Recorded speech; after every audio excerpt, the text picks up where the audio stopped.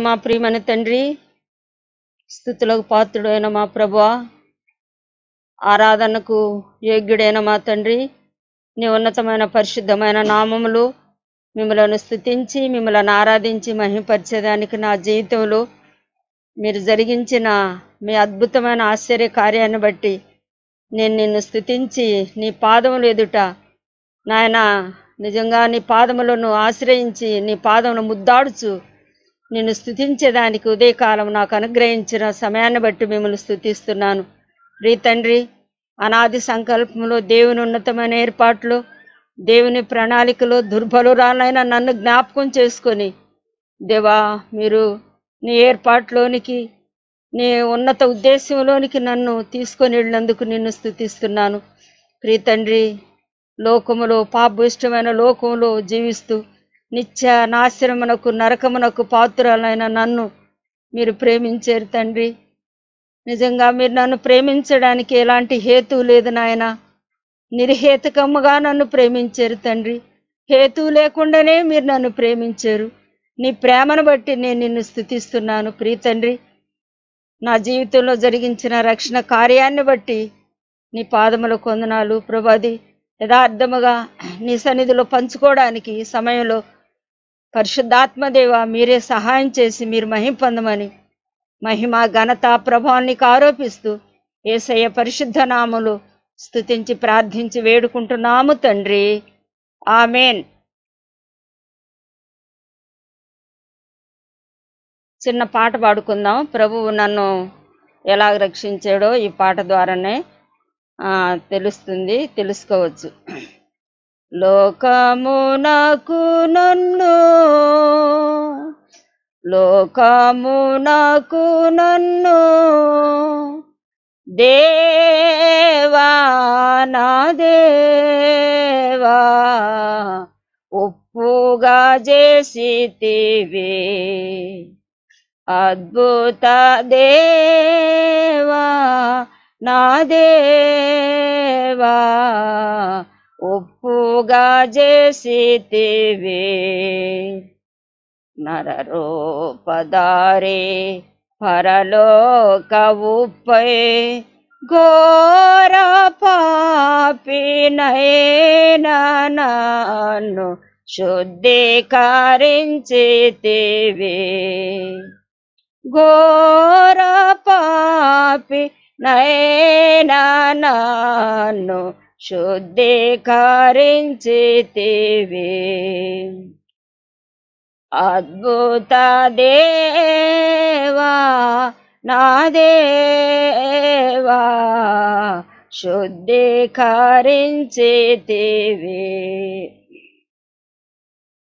మూడవ వచనం. నారోత హృదయం నూతాన పరచి నారోత హృదయం నూతాన పరచి పరమవు పోతోడనేవు నింపిన దేవుండవు పరమవు పోతోడనేవు నింపిన దేవుండవు అద్భుత దేవా నా దేవా నింపిన దేవుండవు. పరుల కోయిలలో ప్రభు క్రీస్తు రుచిన్. పరుల కోయిలలో ప్రభు క్రీస్తు రుచిన్. నిరతమోనే చూపునాట్లు కుమ్మరించుము నన్ను. నిరతమోనే చూపునాట్లు కుమ్మరించుము నన్ను. అద్భుత దేవా నా దేవా కుమ్మారించుము నన్ను. లాస్ట్ వచ్చిన జానోలు నన్ను హింసించినప్పుడు జానోలు నన్ను హింసించినప్పుడు ఎన్ని చెడ్డ మాటలన్న హల్లెలూయా పాడేదన్. ఎన్ని చెడ్డ మాటలన్న హల్లెలూయా పాడేదన్. అద్భుత దేవా నా దేవా హల్లెలూయా పాడేదన్.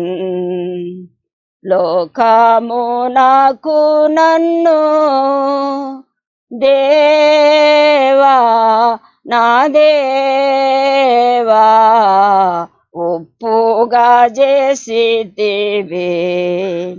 అద్భుత దేవా నా దేవా ఒప్పుగా చేసితివే. దేవుడు నన్ను రక్షించిన విధానాన్ని జ్ఞాపకం చేసుకొని కొంత సాక్ష్యం మీతో పంచుకోవాలని ప్రభు యొక్క తరుణం ఇచ్చాడు. అందరి బట్టి ప్రభువుకి స్థుతులు చెల్లిస్తున్నాను. మాది పెద్దివారిపాల గ్రామము. గుంటూరు జిల్లా కాకుమాను మండలం పెద్దివారిపాలెం నా పేరు ఎలిజబెత్. దేవుడు అనాది సంకల్పం ఎలా? దేవుని కార్యము ఈ ప్రాంతానికి లేక మా గ్రామానికి ఎలా వచ్చిందో అది మీతో పంచుకుంటాను. మొదట నా తల్లి ద్వారా నా తల్లి ఇంకొక ఆమె సంతోషమని వారిరువరు లోకంలో ఉన్నప్పుడు స్నేహంగా ఉండేవాళ్ళంట. తర్వాత మరి కొంతకాలానికి మరి మా నాన్నగారు చిన్నప్పుడే చనిపోయాడు. నా తమ్ముడికేమో రెండు సంవత్సరాల వయసు అప్పుడు నాకు అప్పుడు ఐదు సంవత్సరాలు. ఆ వయసులో నాన్నగారు చనిపోయాడు. నాన్నగారు చనిపోయిన తర్వాత వాళ్ళు స్నేహంగా ఉండి ఎందుకు ఒకరోజు అనుకున్నారంట ఈ లోకంలో అన్నీ చేస్తూ ఉంటే తప్పని చెప్పలేదు. మా తల్లిదండ్రులు మా తండ్రి అయితే మరి అన్నీ అన్యాయంగా పొలాల మీద తీసుకొచ్చి పడేస్తుంటే చాలా సంతోషిస్తున్నాడు. మరి ఇలాంటి ఈ లోకంలో ఎందుకబ్బా మనం జీవించేది? మనం చనిపోదామా అని ఒకరోజు అనుకున్నారంట వాళ్ళిద్దరు. సంతోషమ్మ మా తల్లి పేరు మరియమ్మ. అనుకొని చనిపోవడానికి ప్లాన్ వేసుకున్నారంట. అయితే అక్కడికి వెళ్ళినాకంట ఒక తలంపు వచ్చిందంట. మనం చనిపోయి ఏం చేయగలము? బ్రతికి మరి ప్రభు కొరకు జీవిస్తే మంచిది కదా అనుకున్నారంట. సరే ఆ దినాల్లో అలా విరమించుకున్న తర్వాత వచ్చారు ఇంటికి వచ్చిన తర్వాత. అప్పుడు పెద్దవరం పాలెం ప్రక్కన కొమ్మూరు అనే గ్రామం ఉంది. అక్కడ జొన్నలగడ్డ సామియేలు గారు అంటారు ఆయన్ని. సామేలు గారు ఏం చేశాడంటే ఆ దినాల్లో అమ్మోళ్ళు ఐల్టేడ్ కంపెనీ అని కట్రపాడు కొమ్మూరు మధ్య ఉంటుంది కంపెనీకి వెళుతున్నారు ఆయన ఆ దినాల్లో కంపెనీకి మధ్యాహ్నం తప్పుడు వెళ్ళి ఆ భోజనాన్ని టైం అప్పుడు వాక్యం చెప్పేవాడంట సామేలు గారు. తర్వాత ఆ దినాల అమ్మోళ్ళు అలాగనే దేవుని వాక్యం విన్నారు. విన్న తర్వాత అద్భుతంగా దేవుడు చేసిన ఒక ఆశ్చర్య కార్యం ఏంటంటే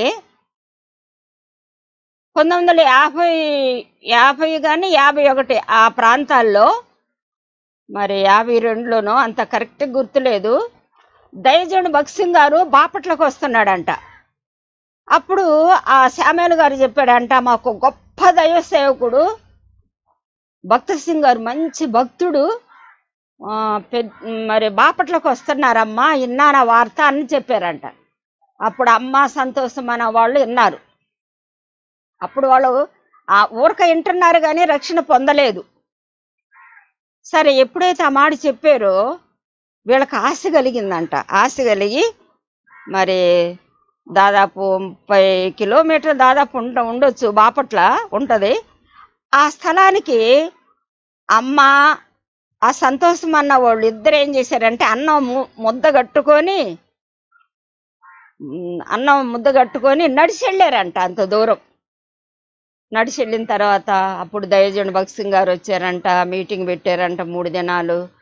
అప్పుడు అమ్మ రక్షణ తీర్మానం మారు మనసు పొందింది మీటింగులో. తర్వాత సంతోషము కూడా. ఇద్దరు రక్షణ పొందారు. రక్షించబడి ఆ దినాల్లో వాళ్ళ దగ్గర బైబిళ్ళు కూడా లేవు కానీ సిరోక్ బైబిల్ కొనుక్కున్నారంట. ఒక్కొక్క బైబిల్ ఐదు రూపాయలు. ఇద్దరు సిరోక్ బైబిల్ కొనుక్కొని మళ్ళా వాళ్ళిద్దరు నడిసే వచ్చారంట. నడిచి వచ్చిన తర్వాత అలా దేవుని సన్నిధిలో ప్రార్థన చేసుకుంటా ఉండారు. చేసుకుంటా ఉంటే అప్పుడు అమ్మ ఇక లోక సంబంధమైన స్నేహాలు లేకపోతే పొలాల మీద మరి దొంగతనంగా తీసుకురావడం అన్నీ మానేసింది. మానేసిన తర్వాత మా నాన్నగారు కూడా పెద్దవారిపాలెమేను మా అమ్మ వాళ్ళ పుట్టినూరు కూడా పెద్దవారిపాలెమే అయితే నాన్నగారు చనిపోయిన తర్వాత వాళ్ళ నాన్నగారి ఇంట్లో ఉంటుందామె. అప్పుడు ఎప్పుడైతే యేసు ప్రభుని నమ్ముకుందో అప్పుడు అన్నాడంట నువ్వు నా ఇంటి అవసరం లేదు వెళ్ళిపోమన్నాడంట నా ఇంటి అవసరం లేదు వెళ్ళిపోమంటే అప్పుడు ఏం చేసిందంటే అమ్మ సరే నానా నువ్వు నన్ను కాదన్నా నన్ను రక్షించిన నా ప్రభు నన్ను విడిచిపెట్టడు అని అని చెప్పి మా ఇద్దరిని చేతులు పట్టుకొని ఇక మా నాన్నగారి ఇంటికి వెళ్ళిందంట.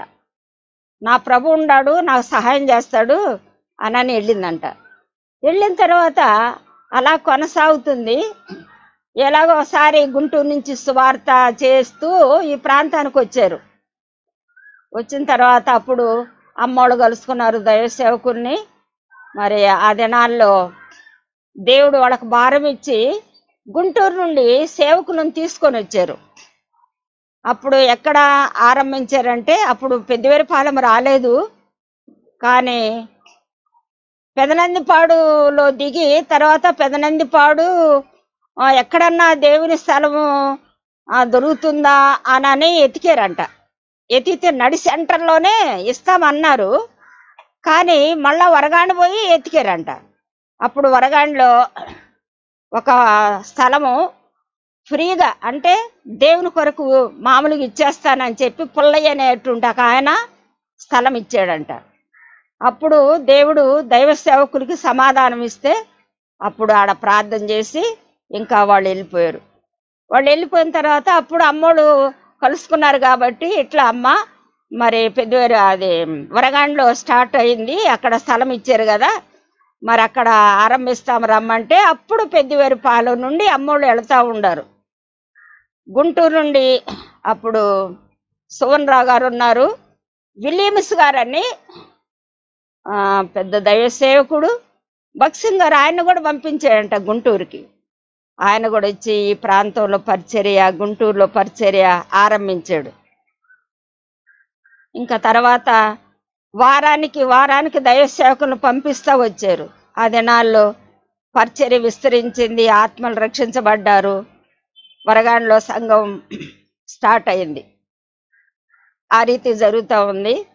మరి అమ్మ సంతోషమ్మ ఆరంభ దినాల్లో మొదట వాళ్ళిద్దరు వెళ్ళారు. తర్వాత మరి వాళ్ళు వెళ్ళుట ద్వారా మా గ్రామంలో కూడా దేవుడు కార్యం చేశాడు. మరి కొన్ కొందరు రక్షించబడ్డారు దేవుని విడలు దైవ సేవకులు వరగానికి వచ్చిన వాళ్ళు పెద్దవేరిపాలెం కూడా వచ్చేవాళ్ళు. వచ్చి స్వార్థ చెప్పి అలా వెళతా ఉంటే ఆ దినాల్లో కొంతమంది ప్రభు బిడ్డలు కొంతమంది రక్షించబడ్డారు. రక్షించబడి ఇంకా పెద్దవేరిపాలెంలో చర్చికి వెళ్ళటం కానీ అలాంటి ఏం చేయడం లేదు వరగానికి వెళుతున్నారు.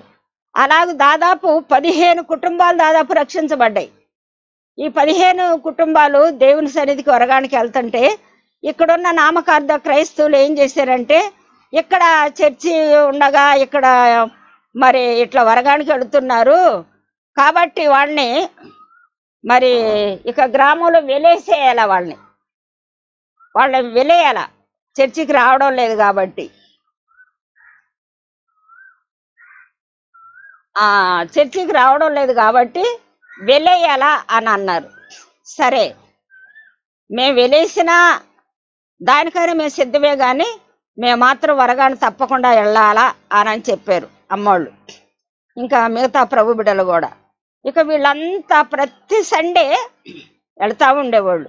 ఆ దినాల్లో ఇక్కడెక్కడ ఏమి లేదు కాబట్టి ఆ దినాల్లో ఒక జమ్మి చెట్టు ఉంది ఆ సెంటర్లో. ఆ జమ్మి చెట్టు కింద గూడుకునేవాళ్ళు అంట అప్పుడు సంఘ పెద్ద సంతోషం మా భర్త పొట్టి అని ఉన్నాడు. నీ భార్య నీ మాట వినకపోతే నువ్వేం సంఘ పెద్దవే అన్నారంట. అందుకని అప్పుడు ఆమె ఆయన ఏం చేశాడంటే మీరు చర్చికి వస్తారా లేకపోతే ఇట్లానే కూడుకుంటారా అని ఒక చెట్టు కింద కూడి ప్రార్థన చేసుకుంటుంటే జుట్టు పట్టుకొని వీధిలోకి లాక్కొచ్చాడంట. ఆయన అన్ని భరించారు. భరించి ప్రభు కొరకు నిలబడి వరగానికి ప్రతి సండే వెళ్తున్నారు.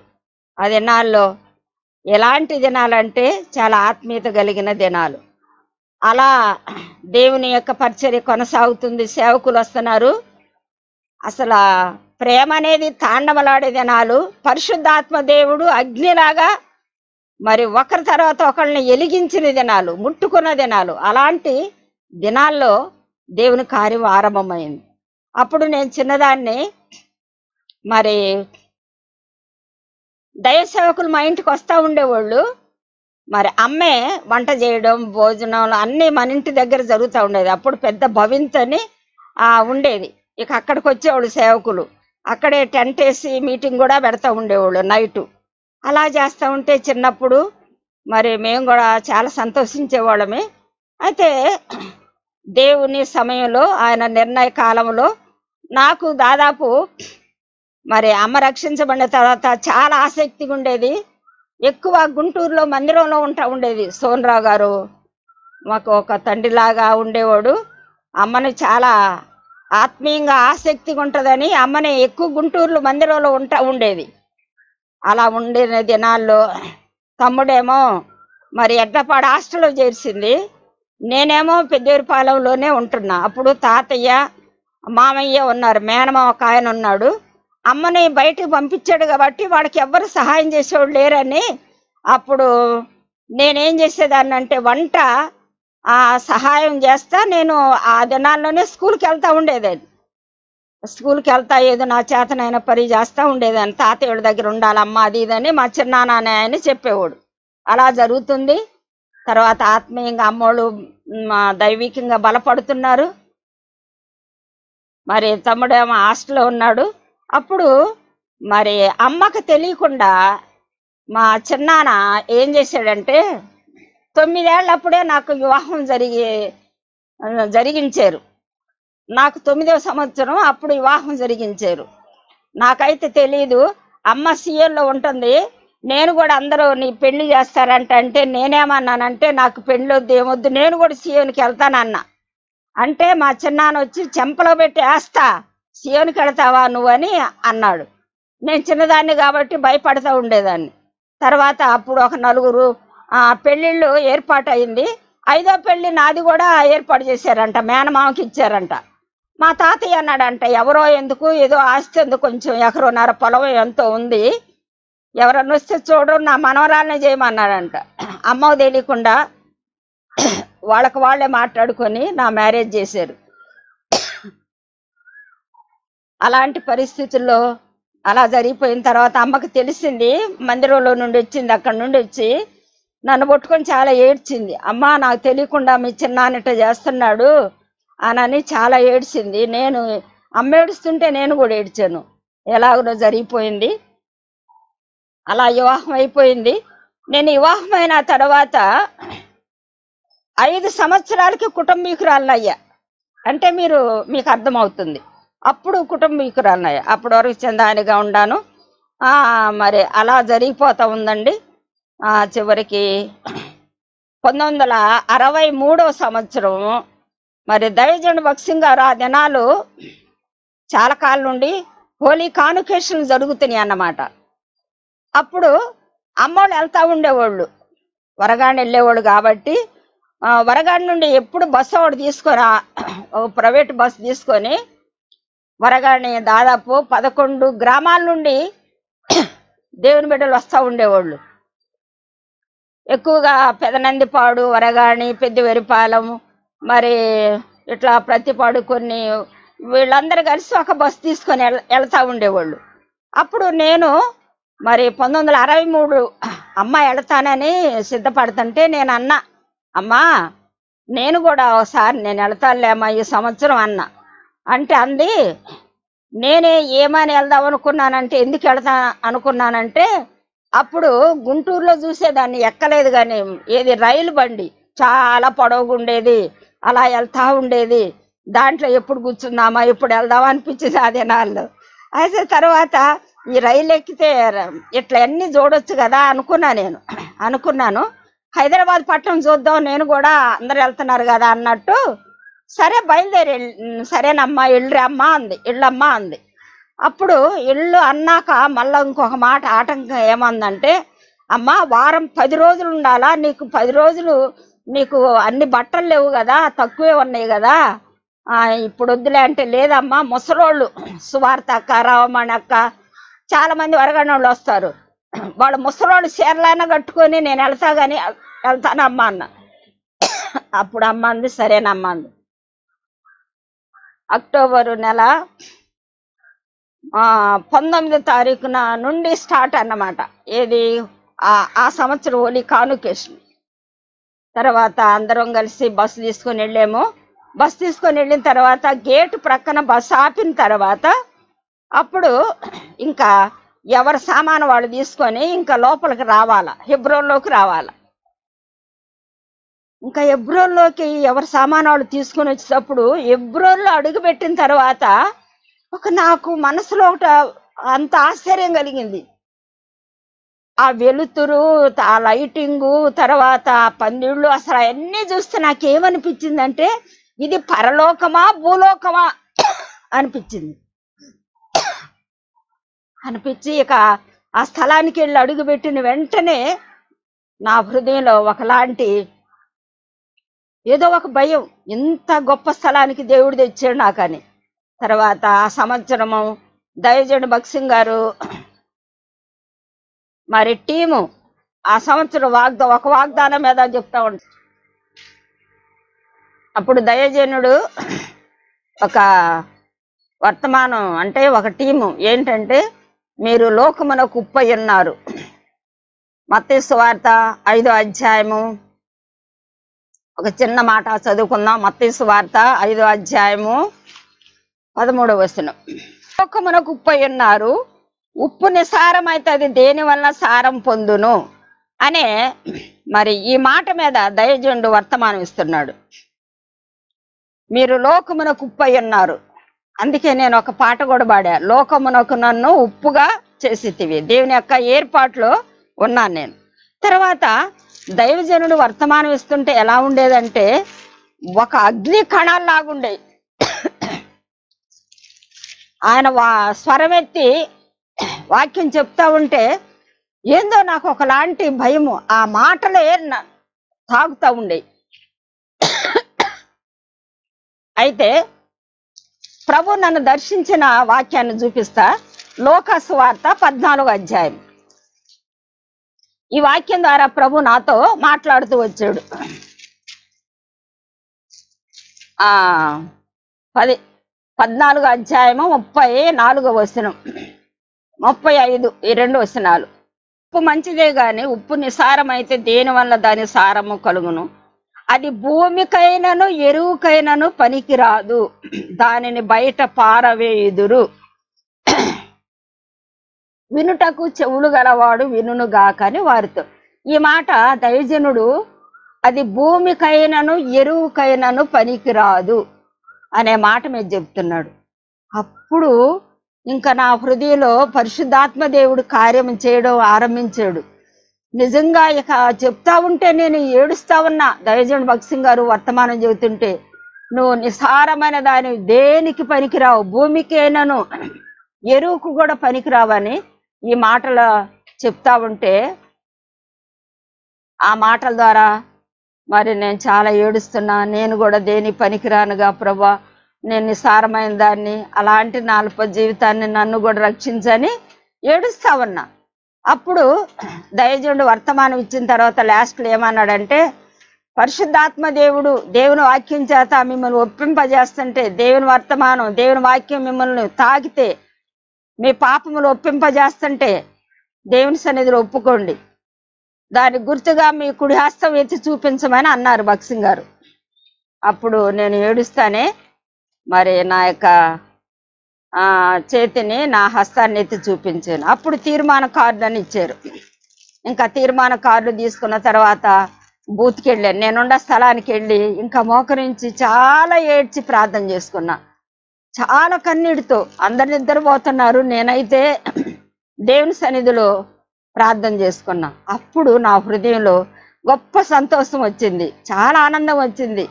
ఇంకా అందరికంటే ముందు రెడీ అయ్యి వెళ్ళాలా వెళ్ళాలనిపించింది అన్నమాట అప్పుడు ఏడు గంటలకల్లా కుటుంబ ప్రార్థన ఆరంభిస్తారు ఉదయకాలం. అప్పుడు ఒక దైవ సేవకులు ఉన్నారు కడప వాళ్ళది. దేవదానం గారు అంటారు ఆయన్ని. ఒక ఏడెనిమిది తబడాల మీద ఒక్కడే వామిస్తాడు పులిపీట మీద నిలబడి కూర్చొని. ఆ అది వామిస్తున్నారు. తర్వాత కొన్ని వాయిద్యాలతో ఉదయకాలం పాట పాడుతున్నారు పులిపీఠం మీద. ఏమని పాట పాడుతున్నారంటే ఆ అది ఆ కుటుంబ ప్రార్థన అయినాక మళ్ళీ భోజనానికి కూర్చున్నాము. భోజనానికి కూర్చున్నప్పుడు ఈ పాట పాడుతున్నారు. ఏం పాట అంటే నింపోము ఓ ప్రభువా. సర్వ సంపూర్ణతతో నింపోము ఓ ప్రభువా. సర్వ సంపూర్ణతతో ఈ పాట పాడుతున్నారు. ఈ పాట పాడుతూ ఉంటే ఏమని నింపాలో ఏమో తెలియదు కానీ నన్ను కూడా నింపు ప్రభా నన్ను నింపు ప్రభా అని చాలా ఏడుస్తున్నా. ఒక వచనంలో ఉంది నీ జ్ఞానముతో నింపు నీ ఆత్మతో నింపంటే నింపు ప్రభువా నింపు ప్రభు అని నేను పాట పాడుతూ ఉన్నా ఏడుస్తూ ఉన్నా వాళ్ళు పాడుతుంటే. నిజంగా ఇప్పటికైనా దాదాపు ఇప్పటికి నేను రక్షించబడి యాభై ఏడు సంవత్సరాలు ఇప్పటికి కూడా ఆ కన్నీళ్ళు గుర్తుకొస్తాయి. సరే ఆహారం వడ్డిస్తున్నారు పాటలు పాడుతున్నారు. నేనైతే నింపు ప్రభు నింపు ప్రభు అని ఏడుస్తున్నా ఏడుస్తా ఉంటే నా కన్నీళ్ళు ఆ పెట్టినట్టుంటే ఆహారం మీద ఇస్త్రాకు మీద నిల్చున్నాయి అన్నమాట. ఆ వాటి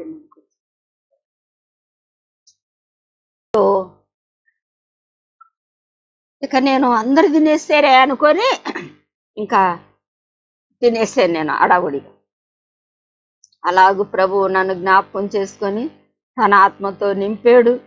నిజంగా ఆయన జ్ఞానముతో ఆయన కృపలో నన్ను జ్ఞాపకం చేసుకున్నాడు. ఇంకా ఎంత సంతోషం అంటే హృదయంలో చాలా సంతోషం. ఆ దినాల్లో దయజనుడు మరి ప్రతి గురువారము దాసన్ గారని ఆయన బాప్తిస్తాను గురించిన వర్తమానం దాసన్ గారు ఇస్తారు. అప్పుడు మరి ఆ కూడికలో దేవుడు బాప్తిస్తాను గురించి నాతో మాట్లాడాడు. అపోస్తుల కార్యం ఎనిమిదో అధ్యాయంలో నపంసకుడు మరి రథంలో వెళతా ఉంటే అప్పుడు పిల్లి పెళ్ళి కలుసుకున్న తర్వాత అంటాడు ఆటంకమేమి? ఇదిగో నీళ్ళు నాకు బాప్తిస్తము ఆ ఆటంకమేమని చెప్తాడు. ఆ మాట ద్వారా ప్రభు నాతో కూడా మాట్లాడాడు. సరే నేను బాప్తీసం తీసుకోవడానికి నాలుగో రోజు నేను మారు మనసు పొందిన నాలుగో రోజే నేను బాప్తీసం తీసుకోవడానికి మరి దేవుడు నాకు సహాయం చేశాడు ప్రేరేపించాడు తీసుకోవాలని. అప్పుడు వాళ్ళు ఏం చేశారంటే దైవ సేవకులు ఎవరైతే బాప్తీసం తీసుకుంటారో మరి సాయంత్రం వాళ్ళందరినీ గ్రూపులుగా చేసి మాట్లాడాలా రమ్మన్నారు. వెళ్ళామన్నమాట.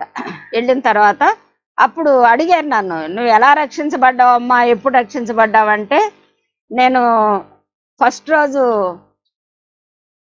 కానుకేషన్కి వచ్చిన శనివారం కదా ఆదివారం నైట్ నేను రక్షించబడ్డాను అని అన్న. ఎట్లా రక్షించబడ్డావు? అన్నాడు. మరి దయజండు వర్తమానం ఇస్తున్నాడు ఫలాని వాక్యం ద్వారా ప్రభు నాతో మాట్లాడాడు. అప్పుడు నేను భూమికైనను ఎరువుకైనను పనికిరాదన్న మాట మీద నేను నా పాపాలు ఒప్పుకున్నాను. ప్రభు నా పాపాలు క్షమించాడు. ఇప్పుడు ఏసై బిడ్డను నేను ఏసై నాలో ఉన్నాడు నేను ఏసై బిడ్డనని చెప్పా. వాళ్ళు చాలా సంతోషించి అప్పుడు నా యొక్క బాప్తిస ఫారాన్ని పూర్తి చేశారు. పూర్తి చేసిన తర్వాత బాప్తిసం ఇచ్చారు. అప్పుడు బాప్తిసం ఇచ్చిన తర్వాత అస్త నిక్షేపణ ప్రార్థన ఉంటుంది కదా. అప్పుడు ఏం చేశారంటే నాకు కలిగిన కృప ఏంటంటే నా తల మీద అందరూ ప్రార్థన చేస్తూ వస్తారు కదా సేవకులు చాలామంది. అయితే నా తల మీద చేతులుంచి ప్రార్థన చేసింది ఎవరెవరంటే దయజుడు భక్సింగ్ గారు తర్వాత విలియమ్స్ గారు పిలుపు గారు. వీళ్ళు ముగ్గురు నా తల మీద చేతులు ఉంచారు ఆ ఉంచి ప్రార్థన చేశారు. ప్రార్థన చేసిన తర్వాత బాప్తిస్త వాగ్దానం ఇచ్చారు. ఏంటి అంటే పిలిపి పత్రిక ఒకటి రెండు. కృపయు సమాధానం మీకు విస్తరించును గాక అనని నా బాప్తిస్త వాగ్దానం. నాకు అప్పుడు కృప ఏందో తెలియదు సమాధానం ఏందో తెలియదు ఏందా ఇది కృప అంట సమాధానం ఈ వాగ్దానం ఇచ్చాడు అనుకున్నా నేను. తర్వాత జీవిత యాత్రలో ఎలాంటిదో నేను అనుభవించాను. కృప అంటే ఎంత గొప్పదో సమాధానం అనేది ఎలాంటిదో జీవితంలో దేవుడు అనుభవంలో నేర్పుతూ వచ్చాడు. మరి అయిపోయింది ఇక కానుకేషన్ ముగిస్తున్నారు. ఇక నేను ఏడుస్తున్నా ఇడిచిపెట్టి వెళ్ళాలా? ఎబ్రో విడిచిపెట్టి పోవాలా నీకు తప్పదు కాబట్టి బస్సు వచ్చింది. ఇంకా బయలుదేరి అందరం వచ్చేసాం. వచ్చిన తర్వాత ఇక్కడ చర్చి ఉండేది మా దగ్గర. బస్సు వచ్చి చర్చి కాడ ఆగంగలే అప్పుడు అందరూ బస్సు వచ్చింది బస్సు వచ్చిందని వస్తారు. అమ్మ కూడా వచ్చింది. అమ్మ రాగానే ప్రైజ్లాడమ్మా అంది. ప్రైజ్లాడమ్మా నేనేమన్నానంటే ప్రైజ్లాడమ్మా నేను రక్షించబడ్డా బాప్తీసం తీసుకున్నా ఏసై బిడ్డనై వచ్చానమ్మా అన్న. నా తల్లి చాలా సంతోషించింది. దేవుని కొందనాలమ్మా ఆ, దేవుడు కార్యం చేశాడు చాలా సంతోషించింది. అరవిందం గారు ఒక మాట చెప్పేవాడు. అరవిందం గారు ఏం చెప్పేవాడు అంటే ఒకసారి వర్తమానం చెబుతుంటే విన్నా నేను. ఏం చెప్పాడంటే తీసుకోండి ఇప్పుడు బాప్తీసం తీసుకోండి సన్నేలతో తర్వాత వేనేలతో ఉంటుంది బాప్తీసం అన్నాడు. ఇంకా సన్నీలు బాప్తీసం ఏంది ఏ నీళ్ళు బాప్తీసం ఏంది అనుకున్నా నేను. తర్వాత జీవిత యాత్రలో దేవుని యొక్క మరి అనుభవం నేర్ నేర్చుకుంటూ వచ్చాను. నేను రక్షించబడిన తర్వాత ప్రభు నాకు ఇచ్చిన శ్రేష్టమైన వాగ్దానం ఏంటంటే పిలిపి పత్రిక ఒకటో అధ్యాయము ముప్పై వచనం. క్రీస్తునందు మాత్రమే. కాక? ఆ, ఆయన పక్షమున శ్రమపడతయు ఆయన పక్షమున నీకు చాలండి. అది నాకు ప్రభు ఇచ్చిన వాగ్దానం. నేను రక్షించబడినాక ఆ- ఆ వాగ్దానం నేను రక్షించబడ్డాను కదా ప్రభు? అని సంతోషిస్తుంటే ప్రభు ఒక మాట ఆ రోజు మాట్లాడాడు క్రీస్తు చేస్తున్నందు విశ్వాసం ఉంచడం మాత్రమే కాదు. ఆయన పక్షంగా శ్రమయు ఆయన పక్షంగా నీకు అనుగ్రహించాను అన్నాడు. ఇంకా దేవుడు ప్రేమించి ఆయన పక్షంగా శ్రమలు అనుభవించే గొప్ప భాగ్యము ధన్యత ప్రభువు నాకు ఇచ్చాడు అన్నమాట ఆ కారణాన తర్వాత జీవిత యాత్రలో ఇంటికి వచ్చాము ఇంటికి వచ్చిన తర్వాత ఈ కుటుంబ జీవితంలో కొనసాగుతున్నాను. మరి చాలా సంతోషం ఎంతో ఆనందం. ఎప్పుడు తెల్లారుతుందా ఎప్పుడు వరగాడి నుండి దైవ సేవకులు వస్తారా ఎప్పుడు వస్తారా అని ఎదురు చూస్తూ ఉండేవాడు అక్కడ మీటింగ్ పెట్టినాక వారంలో ఒకటి రెండు రోజులు వచ్చేవాళ్ళు. తర్వాత అమ్మోళ్ళు అక్కడికి వెళ్తూ ఉండేది దాదాపు పదిహేను సంవత్సరాలు అమ్మోళ్ళు నడిచారు. నేను రక్షించబడిన తర్వాత ఏడు సంవత్సరాలు నడిచాను నేను వరగానికి ఇంకా వరగాడలో ఉన్న ప్రభు బిడ్డల యొక్క సంతోషము అక్కడున్న దేవుని యొక్క సంతోషం ఆనందము ఇక వర్ణించలేము. చాలా అద్భుతమైంది. అలాగూ మరి వరగాండ్లో దేవుని యొక్క పరిచర్య ప్రారంభించాడు. తర్వాత ప్రభు మమ్మల్ని రక్షించి పెద్దవారి పాలెం నుండి ఆ- ఆనాడు మాకేమీ లేదు కాబట్టి మేము వరగాండ్ నడిచి వెళ్ళేవాళ్ళం. మేము మాత్రమే కాదు చాలామంది మరి మరి చిక్కిరేడుపాలెం నుండి వచ్చేవాళ్ళు ప్రతిపాడు నుండి ఆ తర్వాత అన్నవరము ఆ తర్వాత పాలపర్రు ఎనగల్లు అడుసుమల్లి మరి నాగులపాలెము నందిపాడు తర్వాత గొట్టిపాడు అని అనేక స్థలాల నుండి వచ్చేవాళ్ళు. ఇక అందరం కలుసుకుంటే ఎంత ఆనందం ఉండేదంటే చాలా సంతోషం ఉండేది. ఇంకా ఆ దినాల్లో మరి నేను రక్షించబడిన సంవత్సరం ఆ వరగండ్ల ఉంది దైవ సేవకుడు క్లేవెస్ గారు. క్లేవిస్ గారి భార్య సేవకురాలు చాలా ఆత్మీయంగా ఉంటుంది ఆమె. మరి ఆమె నా కొరకు ప్రార్థన చేసిందంట. చేసి ప్రభు చూపించాడంట. సండే స్కూల్ పరిచర్య మరి ఇవ్వాలా అని ప్రభు ఆమెకు చూపించాడంట. ఒకరోజు నేను మామూలుగా మందిరానికి వెళ్తున్నాను. నాతో పిలిచి అంది. సిస్టరు ఎలిజబెత్ దేవుడు నీకు పరిచర్య అప్పగించాలని మాట్లాడాడు. సండే స్కూల్ తీసుకోవాలా మీరని చెప్పింది. సరేనక్క అని చెప్పాను. నేను కూడా ప్రార్థన చేసుకున్నా. ఆ సంవత్సరం మరి ఫస్ట్ నాకు ఇచ్చిన వాగ్దానం నిర్గమాకాండం ముప్పై మూడు పంతొమ్మిది. వాగ్దానం ఇచ్చాడు తర్వాత పరిచర్య కూడా అప్పగించాడు ప్రభు. ఏమని ఉంటుందంటే అక్కడ నా మంచితనం అంతయు నీ ఎదుట కనుపరిచేదను. నేను ఎవరిని కనికరించేదనో వారినే కనికరించేదని అని అది చదువుతాయా? చదవండి.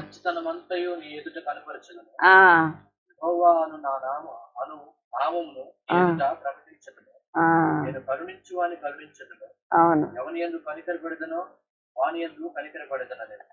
ఈ వాగ్దానం ప్రభు నాకు ఇచ్చాడు నిర్గమాకాండం ముప్పై మూడు పంతొమ్మిది. కాబట్టి దేవుడు ఏంది ప్రభా నీ మంచితనము? ఆ దినాల్లో నేను రెఫరెన్స్ బైబిల్ చదువుతున్నా. దాంట్లో ఏముందంటే నా సర్వోన్నత మత్స్యమును ఎదుట కనుపరిచేదని ఉంది. ఏందో కనుపరుస్తాడంట నా ఎడల ప్రభు. అంటే తర్వాత మామూలు ఈ బైబిల్ చూస్తే నా మంచితనం అంటే అప్పుడు మనకున్న కొంచెం జ్ఞానంలో అది అర్థమైంది. ఓహో ఏసై మంచితనం నా ద్వారా చూపిస్తాడంట అనని సంతోషపడేదాన్ని. తర్వాత ఆ దినాల్లో సండే స్కూల్ పరిచర్య ఇక్కడ పెద్దవేరిపాలెంలో తర్వాత అప్పుడప్పుడు వరగండ్ల అట్లా పరిచర్యలు కొనసాగుతూ ఉండేదాన్ని. మరి ఆ యొక్క నా జీవితంలో శ్రమలు శ్రమలు స్టార్ట్ అయినాయి. ఇంకా ఎప్పుడైతే దేవుని మీద ఆసక్తి కలిగి ఉంటామో మరి తప్పకుండా అనేకమైన బాప్తిసం తీసుకున్న తర్వాత తప్పకుండా అనేకమైన శ్రమల్లో వెళ్ళాల. అదే మన పునాది. క్రైస్తత్వంలో నిలబడడానికి శ్రమలే మనకు చాలా అవసరమైంది. కాబట్టి నా జీవితంలో అలా సంతోషంగా ఎంతో ఆనందం కొనసాగుతున్నాను. తర్వాత ఒకరోజు మరి నాకు మ్యారేజ్ అయిందని చెప్పాను కదా మేనమామ. అప్పుడు ఒక దినాన్ని ఏం చేశాడంటే నేను ఇక్కడ మా అత్తమ్మ గారింట మీటింగ్ జరుగుతూ ఉంది. వెళ్ళాను ఇంకా మీటింగ్ అయింది వర్షం పడుతుంటే ఆ నైట్ అక్కడే పండుకున్నా. ఎప్పటి నుండి కోపం పెట్టుకున్నాడు నేను వచ్చి ఇక ఏకుంజాన్ లేచి వచ్చి మోకరించి మంచం దగ్గర మోకరించి ప్రార్థన చేసుకుంటున్నా. ఇక వెంటనే లేచి పెద్ద కట్టె తీసుకొని నీకు ఇప్పుడే భక్తి కావాల్సి వచ్చిందా? ఈ వయసులోనే నీకు భక్తి కావాల్సి వచ్చిందని చాలా కొట్టాడు అన్నమాట నాకైతే ఏడుపు రాలేదు. ఆ కొట్టడం మాట బాగా కొట్టలేకి ఎన్ని వాసిని కూడా మెడ దగ్గర ఇట్లా ఆ దెబ్బతగిన స్థలాలల్లో వాసుకొచ్చింది. ఇక నాకేందో హృదయంలో సంతోషం ఉంది సమాధానం ఉంది? ఇంకా అప్పుడు అమ్మ లేదు. మరి అమ్మ గుంటూరు మందిరంలోనే ఉంది. ఇక్కడ సంతోషం అన్న ఆమె ఉంది. నేను పోయి అక్కతో చెబుతాను ఇట్లా మామయ్య కొట్టాడు అని అని చెప్దామని వెళ్ళా నేను. ఎట్లా వెళ్ళానంటే ఆ దినాల్లో జొన్నలని జొన్నన్నం తిన్నాం మేము అప్పుడు. జొన్నలు దొక్కడానికని వెళ్ళాం. వెళ్ళి అక్క దగ్గరికి వెళ్ళి చెప్పాను అక్క అక్క రాత్రి ప్రార్థనకి వెళ్ళినందుకు మామయ్య చాలా కొట్టాడు అని చెప్తే అప్పుడు ఆమె ఏమందంటే అమ్మో ఇక నన్ను పట్టుకొని ఏడిసింది బిడ్డ ఇంత వాతలు బొంగిని అది ఇది అని ఏడిచింది. నాకేమనిపించిందంటే ఏదైనా ఆదరి మాట దేవుని వాక్యం ఏమైనా చెప్పిద్దామంటే ఇట్టే నన్ను పట్టుకొని ఏడుస్తుంది భలే ఆమె అనుకొని మనసులో ఇక సరే నాకు అనుకుంటా వచ్చేసా. వచ్చాను. అన్ని రోజుల కంటే ఆ రోజు నా ఇంట్లో పని అన్ని పనులు చాలా తొందరగా అయిపోయింది. ఆనందంగా ఉంది. ఇక దినమంతా పాటలు పాడుకుంటానే నేను పనులు చేసుకుంటా ఉంటా. మామయ్య అంటే నాకు చాలా భయం. ఆయన ఉండడు. ఆయన లేచి పైన గుడ్డేసుకొని పోతాడు కూర్చొని వస్తాడు అంతే ఆయన పని. ఇక అప్పుడు అరక పని ఉండేది. ఉదయాన లేవాలా అరక దగ్గర అది ఆ ఆ దున్నలు ఎద్దులు అట్లా ఉండేవి. వాటి దగ్గర బాగు చేయాలా పనులన్నీ చేయాలా. ఈ రక్షణ ఆనందంలో ఎంత పని అయినా కూడా ఎంతో సంతోషంగా చేసుకుంటా వెళ్తా ఉండేవాడు. అలా చేస్తా ఉన్నాను. తర్వాత నేను పాటలు పాడుకుంటా పని చేస్తా ఉంటే ఆ వచ్చాడంటే ఆయన చూస్తే మాత్రం నాకు చాలా భయం. అందుకని నేను పాటలు పాడుకునే సమయంలో కొంత ఆ పక్కన నుంచొని విని తర్వాత లోపలికి వస్తా సకిలిస్తా వచ్చేవాడు. అంటేవాడు.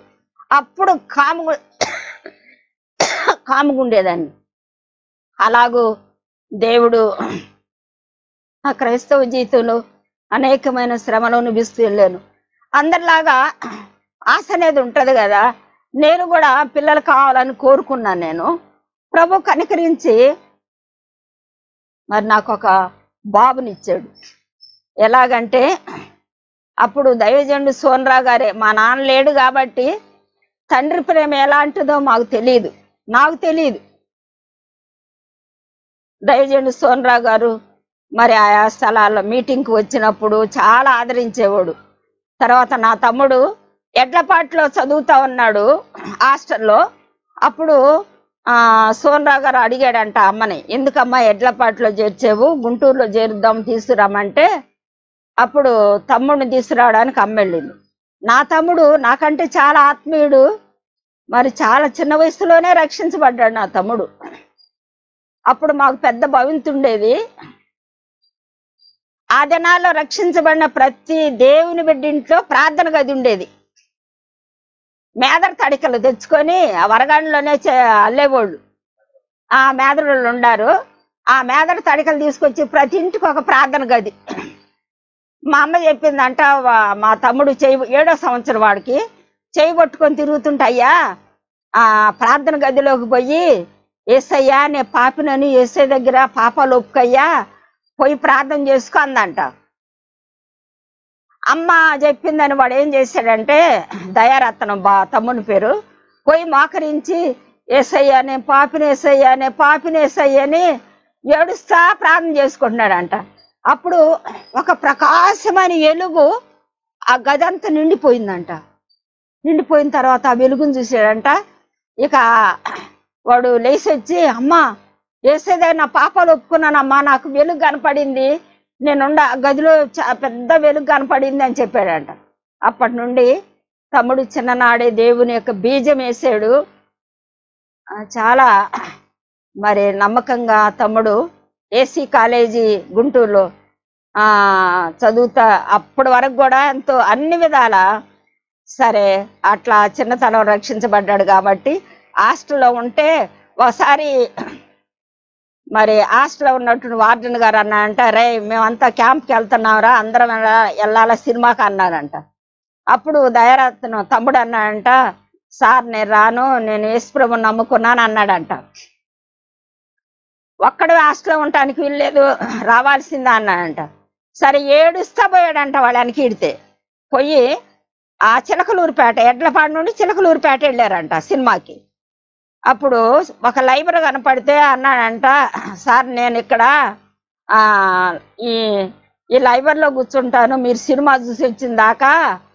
తర్వాత నన్ను కలుపుకొని పోమంటే ఇక వాడు అక్కడే కూర్చొని వాడు సినిమా చూసి వచ్చిన దాకా ఎడుతాను ఆడే కూర్చున్నాడంట. వాడు సినిమా చూసి వచ్చి తర్వాత తమ్ముడు కలుపుకొని వచ్చారు. చాలా కరెక్ట్గా ఉండేవాడంట హాస్టల్లో కూడా. అప్పుడు అమ్మెళ్ళి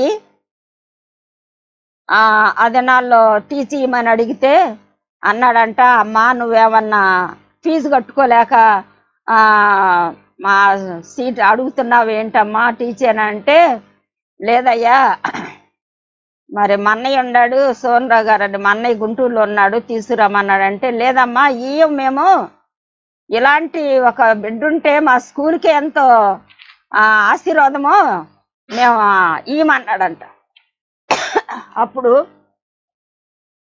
ప్రభుదాస్ గారు అని ఒక దయసేవకుని పంపాడు అమ్మతో పాటు రెండోసారి పంపినప్పుడు అప్పుడు టీచ్ ఇచ్చారు గుంటూరులో చేర్చాడు అనమాట ఇక అప్పటి నుండి తన కాలేజీ చదువు వరకు కూడా ఇక తండ్రిలాగా సోనరావు గారు అన్ని విధాల చూసుకుంటా ఉండేవాడు. ఇక మందిరంలో ఉండటం వాడు పన్నెండో సంవత్సరం పన్నెండు వెళ్ళిపోయింది పదమూడులోనే దైవ సేవకులు దొరలు వచ్చేవాళ్ళు అమెరికా నుండి గుంటూరుకి.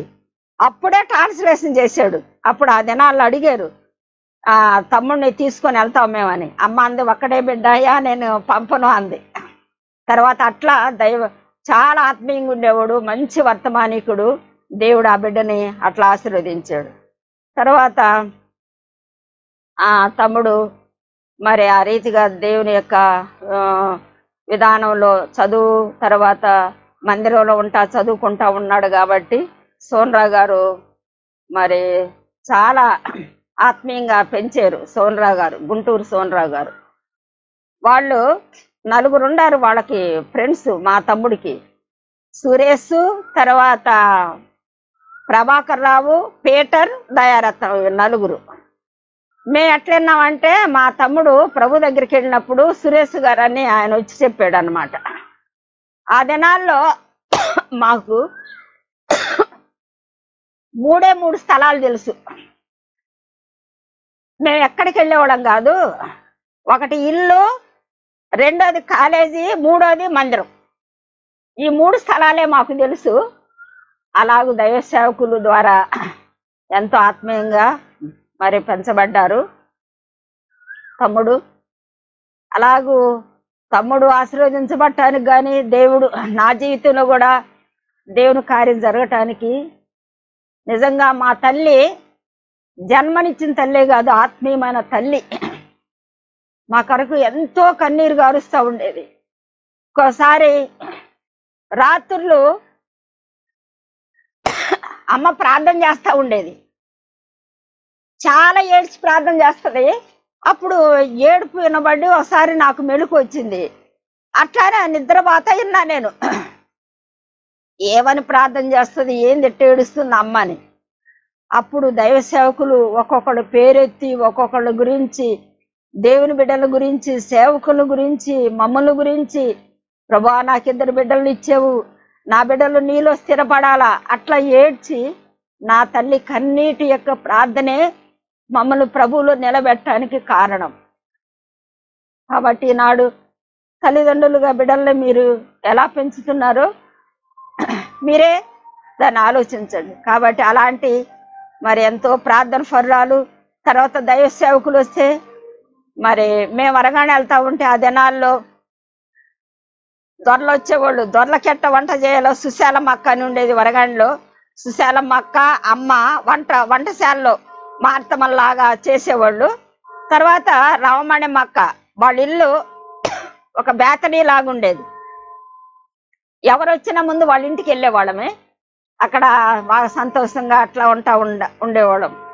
తర్వాత ఒకసారి సేవకుల మీటింగ్ జరిగింది.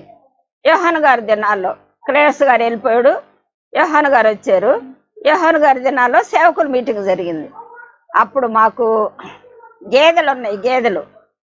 మూడు రోజులు సేవకుల మీటింగ్ అయితే మూడు రోజులు ఇక్కడి నుండి గేదెలను దోరుకొని పోయి వరగాండ్లో కట్టేసి అక్కడ సేవకుల కొరకు కావాలని పాలు అట్లా తోలుకొని పోయాం. తర్వాత ఆ దేవుడు మమ్మల్ని చాలా ఆశీర్వదించాడు. అట్లా ఏం జరిగినా వరగండ్లో ఏ మీటింగ్ జరిగిన ఏ పరిచర్య జరిగినా మరి ప్రభు బిడ్డల యొక్క ప్రేమ ఈ దినాల్లో అలాంటి ప్రేమ ఎతికినా దొరకదండి. నిజంగా ఆ దినాల్లో ఆరంభములు ఇప్పుడు కూడా ఆ ప్రేమను తలంచుకొని కన్నీళ్ళు ఇడుస్తూ ఉంటాం. మరి మాణిక్య మక్క అని ఉండేది ఇప్పుడున్న జాను వాళ్ళ నాన్న వాళ్ళ మమ్మీ వాళ్ళ అమ్మ. నాకు అప్పుడు ఏదో బాలింత జబ్బు అని వచ్చింది. నెల రోజులు అప్పుడు ఎంగటప్పి డాక్టర్ గారు ఉన్న- ఉన్నాడు వరగాండ్లో. ఆ డాక్టర్ గారు చూస్తా ఉంటే రవమణి మక్క. రావమణి మక్క వాళ్ళ ఇంట్లో ఉండాను నెల రోజులు పడకలో. అంత ప్రేమ అంటే దాదాపు పెద్ద గ్లాసు. మూడు గిద్దలో ఏం పడుతుంది? చాలా. అర కేజీ దాదాపు అర లీటర్ దాదా పట్టింది. నిజంగా వాళ్ళ యొక్క ప్రేమ ఉదయాన లేసి గేదె పాలు దియంగలే నెల రోజులు తీసుకొచ్చి దేవుని బిడ్డల యొక్క ప్రేమ. ఏదైనా కష్టం వస్తే ఎప్పుడు పోయి వరగాడిని పోవాలా? వరగాని అక్కోళ్ళతో పంచుకోవాలి. వరగాడినోళ్ళు ఎదురు చూసేవాళ్ళు. అమ్మ పెద్దవేరపాల నుండి ఎప్పుడు వస్తారు అక్కోళ్ళు? అక్కోళ్ళతో పంచుకోవాలని. సుశాలక్క మరి దేవుని యొక్క కార్యాల విషయంలో చాలా ఆసక్తిగా ఉండేది. దేవుని మందిరంలో వంట చేస్తూ అన్ని పనులు చేస్తూ ఉండేది.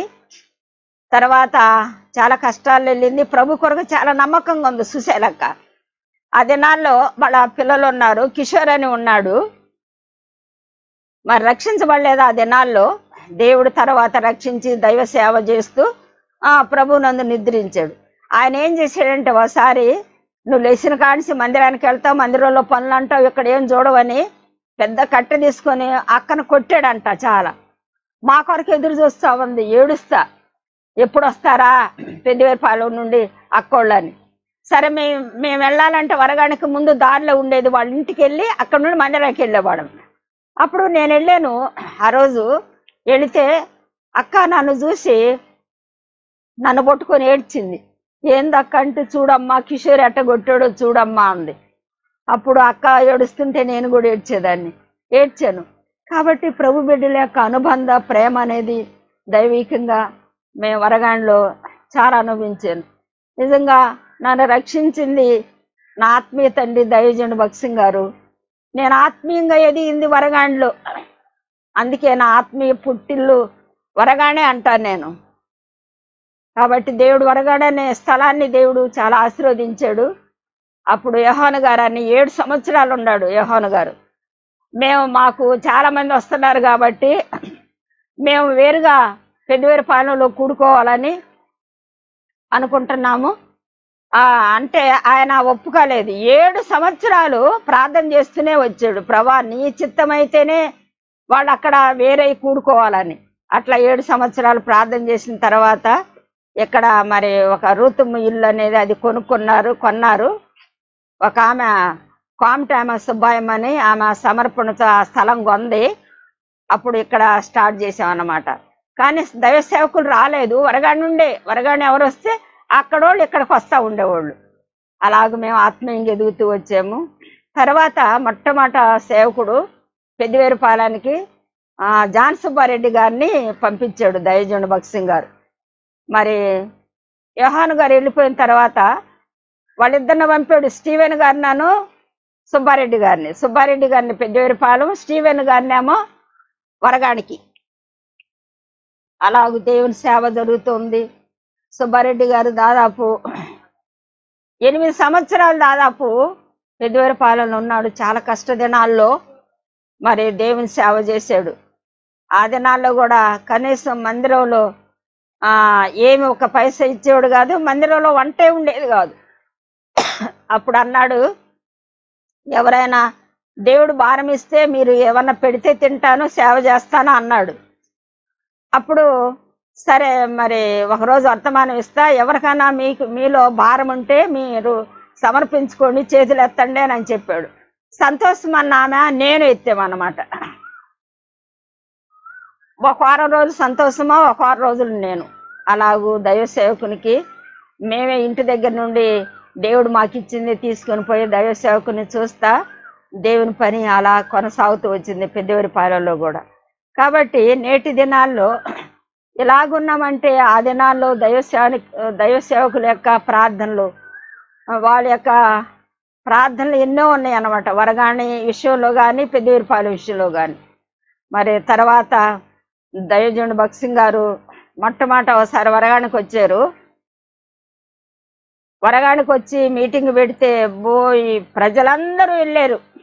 వెళ్ళిన తర్వాత ఆ దినాల్లో మరి అందరూ రక్షించబడతారంటే అందరూ ఒక ఆయన చెప్తాడు ఆ దినాల్లో ఆ గుంటూరులో ఉన్నాడు యేసురత్నం గారని. కరెక్ట్గా ఏం జరిగిందని ఒక బుక్ రాసి పెట్టాడు. ఆయన చెప్పాడు ఎంతమంది రక్షించబడతారు మీలో దే అనని దైవజనుడు వర్తమానం చెప్పిన తర్వాత అంట వచ్చిన వాళ్ళందరూ సంఘం అంతా చేతులు ఎత్తారంట. ఎత్తంగానే చాలా సంతోషమైందంట. ఇంకా అలా అయిపోయింది. అలా ఆ మీటింగ్ అయ్యి మీటింగ్ ఉంచుకొని భోజనాలన్నీ ముగించుకొని వెళ్తున్నారు. వెళ్తా ఉండేలేకి ఆ మధ్యలో యాక్సిడెంట్ అయింది. అంటే కారు పోయి ఒక లోయలో పడింది. ఎక్కడంటే ఏటుకూరు దగ్గర. అప్పుడు దాదాపు ఎనిమిది మంది ఉన్నారు దానిలో కారులో వ్యాన్లో. దత్తు గారు తర్వాత గిద్దలూరు దేవదానం గారు తర్వాత కడప కడప దైవ సేవకులు దత్తు గారు ఈ అందరు కలిసి ఒక ఎనిమిది మంది ఉన్నారు. యేసురత్నం గారు భక్సింగ్ గారు అందరు ఉన్నారు. మరి దత్తు గారికి ఏమో పక్కటెముక కొంచెం నొక్కింది. మరి గిద్దలూరు దేవదానం గారికి ఏం పండ్లు ఆ ఊడిని కొంచెం దెబ్బ తగిలింది. ఇంకా ఎవరికి ఎవరికి ఏం తగలలేదు. అప్పుడు బక్సింగర్ అంట ఆ వ్యాన్లోనే మోకరించి దేవా మమ్మల్ని మరణాన్ని తప్పించేవు మరలా నీ సేవ కొరకు నూతనంగా ప్రతిష్ఠించుకుంటున్నామని అందరి కొరకు ప్రార్థన చేశాడంట భక్సింగ్ గారు. చేసిన తర్వాత వెళ్ళారు తర్వాత హాస్పిటల్కి వెళ్ళి చూపించుకున్నారు అలా తర్వాత పెద్దవేరుపాలెం కూడా మళ్ళా రెండోసారి వరగాన వచ్చి తర్వాత పెద్దవేరుపాలెం వచ్చాడు. అప్పుడు ఒక ఆమె కోమటి ఆమె ఉంది. ఆమెకు పిల్లలు లేరు. ఆమె దగ్గర ఆస్తుంది ఉంది నాలుగు ఎకరాలు మూడు ఎకరాల డెబ్బై సెంటు పొలం ఉంది. మరి ఆమె ఏం చేసిందంటే ఎన్నో సహవాసాలకు వెళ్ళింది. బక్సింగ్ గారి యొక్క సహవాసం లేక ఇక్కడున్న వాక్య క్రమం చాలా మంచిదని గ్రహించింది. తర్వాత వరగాని మొట్టమాట వచ్చినప్పుడే అయ్యా నా ఆస్తి దేవుని సేవ కొరకు దేవుని దైవజనునికి రాస్తాను నేను అని చెప్పింది. దత్తు గారికి చెప్పింది. తర్వాత దత్తు గారు వాళ్ళు కలుసుకొని మాట్లాడుకున్నాక రెండోసారి కొద్ది కాలం అయిన తర్వాత దైవజన బక్సింగ్ గారు మళ్ళా వచ్చాడు. వరగానికి వచ్చి పెద్దవేరుపాలెం వచ్చాడు. పెద్దవేరిపాలెం వచ్చి ఒక దినమంతా ఉన్నాడు. అప్పుడు ఆ సుబ్బారామ గారిది సుశాలం అంటారు ఆమెని. సుశాలం గారికి మంచి మంచి డాబా ఉంది. ఆ అక్కడే ఉన్నాడు ఆ దినమంతా. దా ఆ- ఇంటికేమో బేతని అని పేరు పెట్టాడు. అక్కడ కూడా పరిచయం జర- జరగాలని కోరింది ఆమె. తర్వాత కాకుమాని వెళ్ళాడు పొలం రిజిస్టర్ అది చేసుకొని వచ్చారన్నమాట. దైవ సేవకులు ఆ గొప్ప దైవజనుడు కూడా పెద్దవరిపాలెం అనే మారుము పల్లెటూరు పెద్దవరిపాలెం కో- మరి వరగాని ప్రాంతాల్లో కూడా ఆ గొప్ప దైవజనుడు వచ్చే ఆ గొప్ప భాగ్యము మా లాంటి వారికి దొరికింది. కాబట్టి ఎలాగూ దేవుని సేవ కొనసాగుతూ వచ్చింది. ఇలాగ జరుగుతున్న దినాల్లో ఆత్మీయంగా నేను కూడా కొనసాగే దినాల్లో మరి చాలా శ్రమల్లో వెళ్ళాను. నిజంగా శ్రమల్లో వెళ్ళడం అనేది శ్రమలు చాలా అవసరం దేవుని బిడ్డలకి. నేను శ్రమలు అనుభవించిన తర్వాత నాకు తెలిసింది ఓహో శ్రమలు ఎంత లాభం ఉందో శ్రమల ద్వారా ఎంత ఆనందం ఉందో నాకు అర్థమైంది. ఇక ఆ దినాల్లో సండే స్కూలు వెళ్తూ వెళ్తా ఉండేదాన్ని. ఏడు గంటలకల్లా సరే ఇక్కడ సండే స్కూల్ చూసుకొని తొమ్మిదింటికి మళ్ళీ ఆరాధనకి వరగానికి వెళ్ళేవాళ్ళం. అప్పుడు బస్సు వచ్చేది గుంటూరు బస్సు కాకుమా దాకా కొనపట్రు ఆ ఆ బస్సు ఎక్కి మళ్ళా ఇక అన్నం తినేవాడం కాదు. ఆ వరగాండి తినేవాడం అన్నం. ఇక్కడ పని చేసుకొని సండే స్కూల్ ఎనిమిదిన్నర కల ముగించుకొని పావుదొక్కు తొమ్మిది గంటల బస్ స్టాండ్లో ఉండాలి. అలాగూ ఇక మేము ఆరాధన కలుసుకుంటా ఉండేవాళ్ళం. వెళ్ళిన తర్వాత మంచి ప్రేమతో వాళ్ళు కూడా మమ్మల్ని చూస్తూ వచ్చారు. తర్వాత వరగాన్ని అంత దూరం దూరమైన వరగానికి మూడు రోజులు వెళ్ళేవాడు. మంగళవారం ఆ సండే స్కూల్ టీచర్ల ప్రార్థన. తర్వాత గురువారం బైబుల్ స్టడీ శుక్రవారం ఉపవాస ప్రార్థన జరుగుతూ ఉండేది. ఎక్కువ వెళ్తా ఉండేవాడు. మాకు ఆ దినాల్లో ఏం లేదు. అమ్మోళ్ళు కూడా నడిచి ఇట కొమ్మూరు గుడి ఉంది ఒకటి. ఆ గుడి మీద మరి మా పొలాల్లో గుండా నడిచి వెళ్ళేవాళ్ళు వరగానికి. అలాగూ దేవుని యొక్క కార్యాలు ఆరంభములు ఎంతో ఆసక్తిగా దేవుని బిడ్డలు మరి దేవుని కార్యాల్లో జరగడం నేను కూడా కన్నులారా చూశాను. నేను కూడా వర వరగానికి మూడు సార్లు వెళ్ళేదాన్ని దినం. ఇంట్లో పనులు పొలం మీద పనులు చూసుకొని తర్వాత వెళ్తూ ఉండేదాన్ని. ఒకరోజు నేను చాలా ఇక్కడే ఏడున్నర అయింది. ఆ రోజు సండే స్కూల్ టీచర్ల ప్రార్థన బయలుదేరి వెళ్ళాను. ఎట్లా నడిచి వెళ్ళానో నడిచి వెళ్ళాను నేను. అప్పుడు అక్కడ ఉన్న దయసేవకుడు అన్నాడు అమ్మా ఈ ఈ టైం ఒక్కదాని వెంట వచ్చామన్నాడు అన్నాడు. అంటే నేనన్నా అన్న ముగ్గురు వచ్చామన్నా అన్న. ఎవరెవరు అమ్మ అన్నాడు. అప్పుడు నేను రూతు బు- బుక్ చదువుతున్నా. బోయేజు రూతు నేను ముగ్గురు అన్న. అంటే అన్న అంటే ఏమి చెప్పినవమ్మ నువ్వు అన్నాడు. కాబట్టి అంత ఆసక్తి ఉండేది. అలా వెళ్ళాము. తర్వాత సండే స్కూల్ టీచర్లు నలుగురు మేము మోకరించి ప్రార్థన చేస్తుంటే సుశీల అక్క నేను దయ్యమ్మ ఇంకొక అక్క మేము మోకరించి ప్రార్థన చేసుకునే విషయాలకి మా మోకరించిన స్థలంలో బండల మీద ఒక్కొక్కరు కన్నీరు అట్ట తడిసిండేవి అలాగూ దేవుని యొక్క సేవ కొనసాగుతూ వచ్చింది. ఇక్కడ కూడా నేను సండే స్కూల్ చూసుకుంటా ఉండేదాన్ని. ఇక్కడ అన్నమ్మ టీచర్ గారు అని ఉండేది. నేనైతే సండే స్కూల్కి ఆరంభం కాగంగానే రెడీ అవుతాను ఏడున్న ఏడు గంటలకల్లా ఆమె కూడా పనులు ముగించుకొని టీ తాగి ఏడు గంటలకు రెడీగా ఉంటుంది. రెడీగా ఉండి ఏం చేస్తానంటే నేను తెల్ల మొదటి నుండి ప్రభు నాకు నేర్పించింది వైట్ బట్టలే వేసుకుంటాను నేను కలర్ బట్టలు వేసుకోను. ఆ నేను వైట్ బట్టలు వేసుకొని ఆ సండే స్కూల్కి వెళ్తా ఉంటే నా వెనకీడితే వచ్చేది అనమాట ఏమని వచ్చేది? వాళ్ళ పక్క వాళ్ళు పిలుస్తా ఏ బ్రాందేనా నర్స్ పనికి వస్తారా? నర్స్ పనికి వస్తారా? అని అనుకుంటే పక్క వాళ్ళు పిలిచి ఏళని చేస్తూ ఉండేదాన్ని. ఇక నాకు ఈమె నన్ను ఎందుకు రోషం లేదు. నా హృదయం ఎంత ఆనందమో సంతోషంగా ఉండేది. దాదాపు అలాగూ రెండు సంవత్సరాలు నన్ను దేశించింది ఆమె.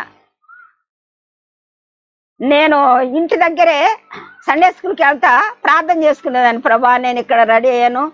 ఆ టీచర్ అన్నం పొంతులమ్మ గారు మళ్ళీ ఆమె కూడా రెడీ అయింది సహాయం చేయ ప్రభు అని. ఎంత ఆనందం తెలియదు. అలాగ చేస్తా ఉండేదాన్ని. రెండు సంవత్సరాలు గడిచిన తర్వాత అలా చాలా కాలం దేశించి అప్పుడు అంది ఒక రోజు ఈ రోజు కూడా వస్తుంది అనుకోనే పోయా నేను.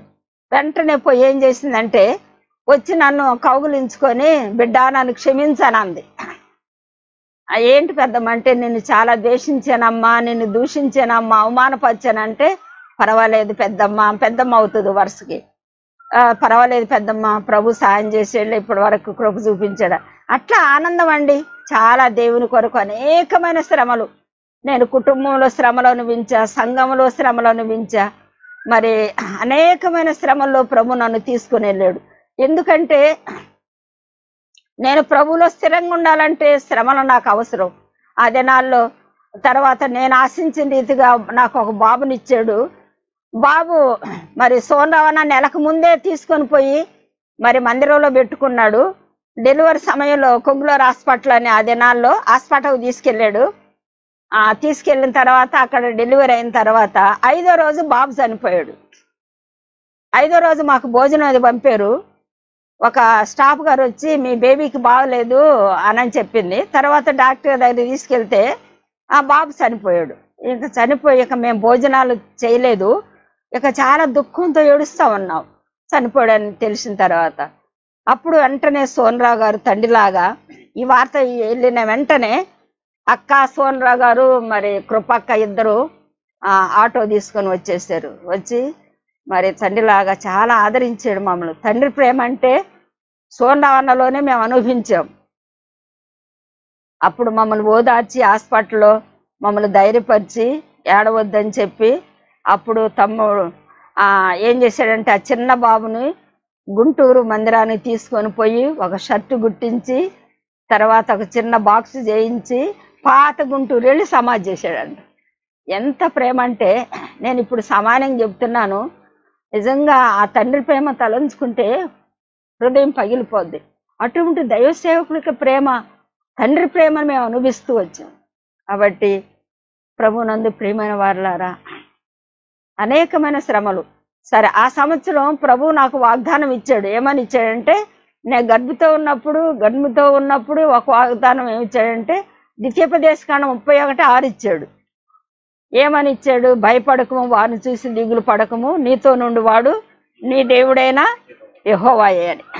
నేను అనుకున్న మామయ్య అంటే భయం కదా భయపడొద్దు నువ్వేం భయపడొద్దు అని మామయ్యని గురించి ఇచ్చాడేమో అనుకున్నా నేను తెలియక. అప్పుడు తర్వాత బాబు చనిపోయిన తర్వాత నాకు అర్థమైంది. ముందుగానే ప్రభు దిగులు పడొద్దు భయపడొద్దు అని ఆదరించాడు. తర్వాత కొన్ని దినాలకి బాబుని తీసుకున్న తర్వాత నేను చాలా ఏడుస్తా ఉన్నా. మరలా ప్రభు నన్ను జ్ఞాపకం చేసుకొని మళ్ళీ ఒక గర్భాన్ని ఇచ్చాడు. అప్పుడు ఒక రెండోసారి పాప పుట్టింది. పాప కూడా ఇప్పుడు అప్పుడు పెదనందిపాటులోనే ఒక డాక్టర్ గారు ఉన్నారు. ఇక్కడ హాస్పిటల్లోనే డెలివరీ అయ్యాను. ఆపరేషన్ చేసి తీశారు. మొదట కాను మామూలుగానే రెండోది ఆపరేషన్ అయింది. అప్పుడు కరెంటు పోయి చాలా పరిస్థితి ఏర్పడిందంట. అప్పుడు అమ్మ ఏడుస్తా ఉంది నా కొరకు. తర్వాత మామయ్య వీళ్ళందరూ అన్నారంట మరి ఈసారి గడ్డిని వస్తే పెద్ద పేడానికి మోసం జరుగుతుంది. మరి ఈ పాప ఒక్క పాప చాలా మరి ఆపరేషన్ చేస్తామంటే అమ్మ చేయమందంట. నా బిడ్డ నాకు దక్కనప్పుడు ఇంకెందుకు చేయమందంట. తర్వాత మామయ్య అన్నాడంట చాలే ఒక్క పాప చాలులే చేసేయమని. తర్వాత ఆపరేషన్ అయింది. ఆపరేషన్ అయిన మూడో రోజు పాప కూడా చనిపోయింది. బిడ్డలు పుట్టకుండా అయిపోయింది. ఇంకా దేవుడు పాపను కూడా తీసుకున్నాడు. చాలా దుఃఖ సాగరంలోకి వెళ్ళిపోయాం. చాలా దుఃఖిస్తున్నాం. నేను ఇక తర్వాత మరి ఏడుస్తూ ఉన్నాను. నాకు వినపడకూడదు ఆ ఏడు పని ఆ పాపను తీసుకొని పోయి క్లేవెస్ గారు అప్పుడు నందిపాట్లో ఉంటున్నాడు. నందిపాట్లో క్లేవెస్ గారి ఇంట్లో పెడితే ఇక్కడ సమాజ్ చేయండి అమ్మాయి తెలియకుండా అని అంటే మీరే పోయి చేసుకోండి అన్నాడంట. ఆయన అలాంటి ప్రేమ ఆయనది. సరే ఇక అమ్మోళ్ళు ఏడో పోయి తర్వాత వేరే వాళ్ళు సమాజ్ చేశారు పాపని. చేసిన తర్వాత ఇక అప్పుడు ఏం ప్రభా నేను చిన్ననాడే నిన్ను నమ్ముకునే ఉన్న కాలంలో? అప్పుడు నా వయసు పదిహేను పూర్తయింది పదహారులోకి వచ్చాను ప్రభు నమ్ముకున్నా. అప్పటి నుండి నేను అన్ని మానే లోకంలో సినిమాలు చూస్తా పాపం చేస్తా ఉన్నా వాళ్ళ పిల్లల బతుకుతా ఉంటే నేను నిన్ను నమ్ముకుంటే నా బిడ్డల్ని ఇద్దరిని తీసుకున్నావు. ఇంకా పుట్టేది కూడా లేదని దాదాపు ఆరు నెలలు పడకలో ఆరు నెలలు పడకలో ఉన్నా. అమ్మ నన్ను చూసి నేను అమ్మని చూసి అమ్మ నాకు నాకు కనబడకుండా ఏడుస్తూ ఉంటుంది. అమ్మ లేనప్పుడు నేను ఏడుస్తూ ఉండేదాన్ని. అలా జరిగే సమయంలో దాదాపు నేను పడకలో ఉండి కూడా దేవుని వాక్యం చదువుకుంటా ఆదరణ కొరకు అట్లా నేను ఉంటా ఉండేదాన్ని. అప్పుడు మరి మామయ్యకి ఏదో మండ్రగబ్బలం కుట్టింది. కుడితే అప్పుడు ఏదో సారా ఏదో తాగించారు. అది తాగిన తర్వాత అప్పుడు అన్నాడు మనం బ్రతికి ఎవరిని జీవి మనం బ్రతికి ఎవరిని ఆ బ్రతికే ఎందుకు మన జీవితం ఎవరిని ఎవరి కొరకు అది ఇదని ఏమో ఏడ్చేవాడు ఆయన. తర్వాత అప్పుడు ఆ దినాలు అన్నాడు నా భార్య లాంటి భార్య ఎవరున్నారు నేనంటే చాలా భయపడిద్ది అది అని చెప్పాడు తను కూడా చాలా అన్నాడు. బిడ్డలు చనిపోయారని ఏడ్చేవాడు ఆయన కూడా. కాబట్టి అది దేవుని ఉద్దేశం అలా జరిగిపోయింది. నేను ఆరు మాసాలు ఎప్పుడు ఏడు దినమంతా ఏడుస్తూనే ఉండేదాన్ని తలంచుకొని. ఒక్కళ్ళనన్నా బ్రతికించలేదు ప్రభు నేను నిన్ను నమ్ముకున్నగా కదా ప్రభు అని. అప్పుడు ఒక దినాన నేను ఒక బుక్ చదువుతున్నా సత్యం అనే పత్రిక వచ్చేది ఆ దినాల్లో. అంత కరెక్ట్గా గుర్తులేదు. సత్యమో దేవుని స్థలమో బుక్ ఏదో చదువుతున్నా. అక్కడ ఒక భాగంలో ప్రభు నాతో మాట్లాడాడు. నువ్వు ఎక్కువగా ప్రేమించు నీ బిడ్డలను కానీ నీ తండ్రిని కానీ మరి ఎవరినైనా నీ నుండి దూరం చేస్తే పాపమును బట్టి కానీ మరి దేన్ని బట్టి కాదు. అలాంటి వారిని ఆదరించుటకు నిన్నిట్లు తరబీదు చేయుచున్నాను అని మాట్లాడాడు ప్రభు. ఎప్పుడైతే ఆ మాట విన్నానో ఆ మాట ప్ర పరిశుద్ధాత్మ దేవుడు నాతో మాట్లాడాడు. దేవుడు అనేకులు కొరకు నేను తరబీదు చేస్తున్నాడు. ఇది అనని ప్రభు దేవునాత్మ నాతో మాట్లాడింది. ఎప్పుడైతే నిన్నిట్లు తరబిజ్ చేస్తున్నానని ప్రభు మాట్లాడుతూ వచ్చాడో అప్పుడు నేనేం చేశానంటే ఈ లేచి పండుకున్న దాన్ని లేచి మోకరించి నేను ఏడ్చిన ఏడుపుకి కార్చిన కన్నీళ్ళకి ప్రభు దగ్గర నేను అటన్నిటి కొరకు క్షమాపణ కోరుకున్నా. ఇంకా హృదయంలో ఎంతో నెమ్మది ఉంది ఇక దిగులు లేదు. ఇంకా ఆ సంవత్సరం తర్వాత ప్రభు నాకు ఒక వాగ్దానం ఇచ్చాడు. ఏ వాగ్దానం ఇచ్చాడంటే? ఆది కాండం పన్నెండు అధ్యాయం ఏడో వచనం ఇచ్చాడు వాగ్దానం. నీ సంతానానికి ఈ దేశం ఇస్తానని ఇచ్చాడు. నా వాగ్దానం ఎట్లుంది? నా జీవితం ఎట్లుంది? బిడ్డలు చనిపోయారు పుట్టడానికి ఏమీ లేదు. పుట్టే కారణాలు కూడా లేవు అన్నీ అయిపోయినాయి. చాలా దుఃఖంలో. ఏంది ప్రభువా? నా సంతానానికి దేశం ఇస్తానన్నావు ఇంకేముంది? నా సంతానం ఇచ్చేవు తీసుకున్నావు కదా? అన్నా నేను. అయితే దేవుని ఉద్దేశాలు వేరు. నాకు ఆత్మీయమైన సంతానం ఇవ్వడానికి ప్రభు ఇష్టపడ్డాడు. కాబట్టి ఆ సంవత్సరం నాకు మా గ్రామంలోనే దాదాపు ఏడు మంది ప్రభు బిడ్డలను ఇచ్చాడు నాకు. రక్షణలోకి నడిపించడానికి ప్రభు ఆ రీతి సహాయం చేశాడు. ఆనాటి నుండి నేటి వరకు ఎంతోమంది ప్రభు బిడ్డల్ని ఆత్మీయంగా నాకు ఎంతో మంది బిడ్డలు ఇస్తూ వచ్చాడు. ఇక్కడ రక్షించబడిన ప్రభు బిడ్డలు ఆ రోజు మాణిక్యమని కరుణమ్మని తర్వాత వీళ్ళందరూ ఏం చేసేవాళ్ళు అంటే ప్రభుని ఆరాధన చేసేవాళ్ళు. తర్వాత కుమార్ అని ఉంది అప్పారా గారి భార్య హిందువులు ఆమె. వాళ్ళందరూ ఆరాధన చేస్తుంటే నా హృదయం ఆనందించే చాలు ప్రభా. ఆత్మీయంగా నా బిడ్డలు ఇంత మంచిగా ఆత్మీయంగా వదిలుతున్నా నాకు ఈ ఆనందం చాలని. అట్లా నేను దేవుళ్ళు ఆనందిస్తూ వచ్చాను. అనేక మంది దైవ సేవకుల్ని ప్రభు మరి ఆత్మీయ నా బిడ్డల్ని నాకు ఇచ్చాడు ఆ బిడ్డలు దైవ సేవకులు అయ్యారు తర్వాత కొంతమంది సిస్టర్స్ దైవ సేవకురాళ్ళు అయ్యారు దేవుడి లోకములో ఆత్మీయమైన అనేక మందిని ప్రభు నాకు ఇచ్చాడు తర్వాత ఈ లోకములో ఆయన ప్రేమను రుచించేదానికి లోకంలో నేను కూడా ఒక ఉప్పుగా ఉండాలని ప్రభు కోరి అలాగు నన్ను నడిపిస్తూ వచ్చాడు. నా మార్గాలన్నీ చెదరగొట్టాడు. ప్రభు మార్గంలో నడిపించాడు. ఎన్నో శ్రమలు సంఘంగా ఎన్నో శ్రమలు అనుభవించా.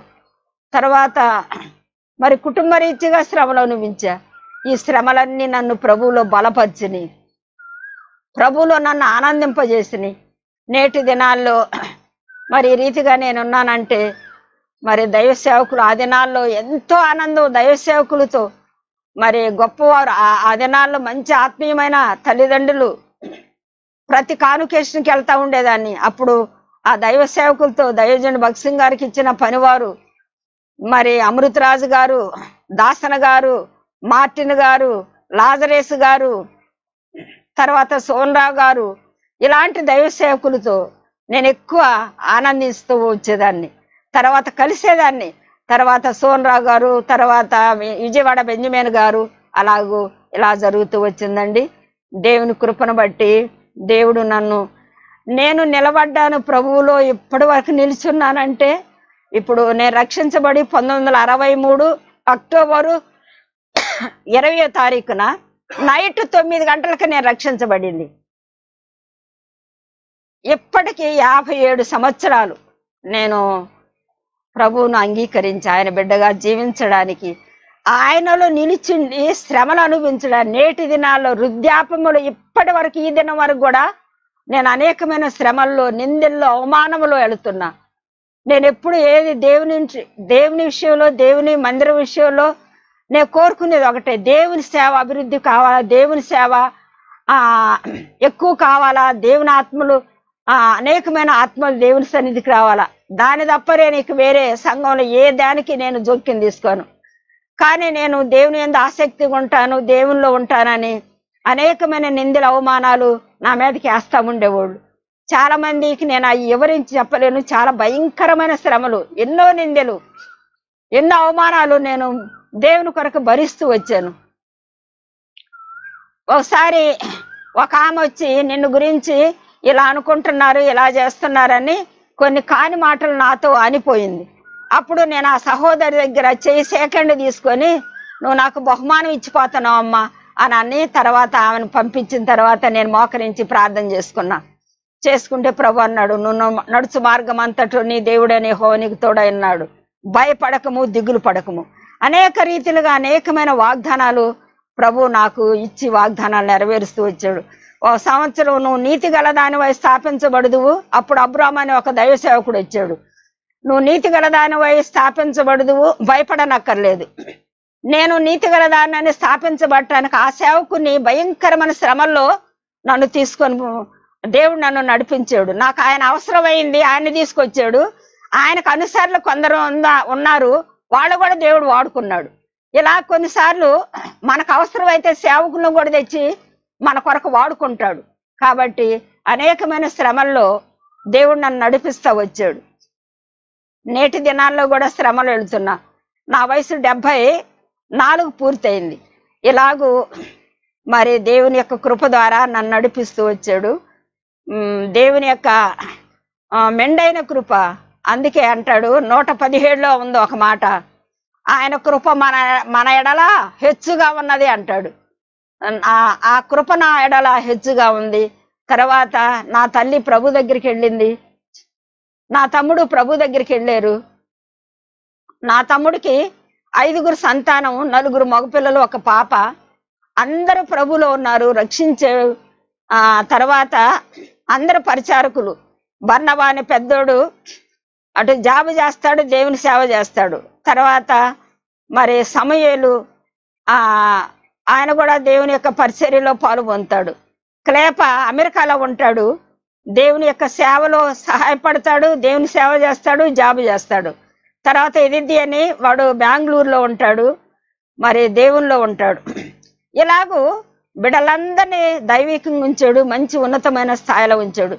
నా తమ్ముడు ఎస్సీల మీద చదివించలా బీసీల మీద చదివించాడు బీసీసీ మీద. ఆనాడు తమ్ముడికి కాను కాలర్షిప్ లేదు. నా తమ్ముడు కూడా అలాగనే జరిగి చదివించాడు బిడ్డల్ని.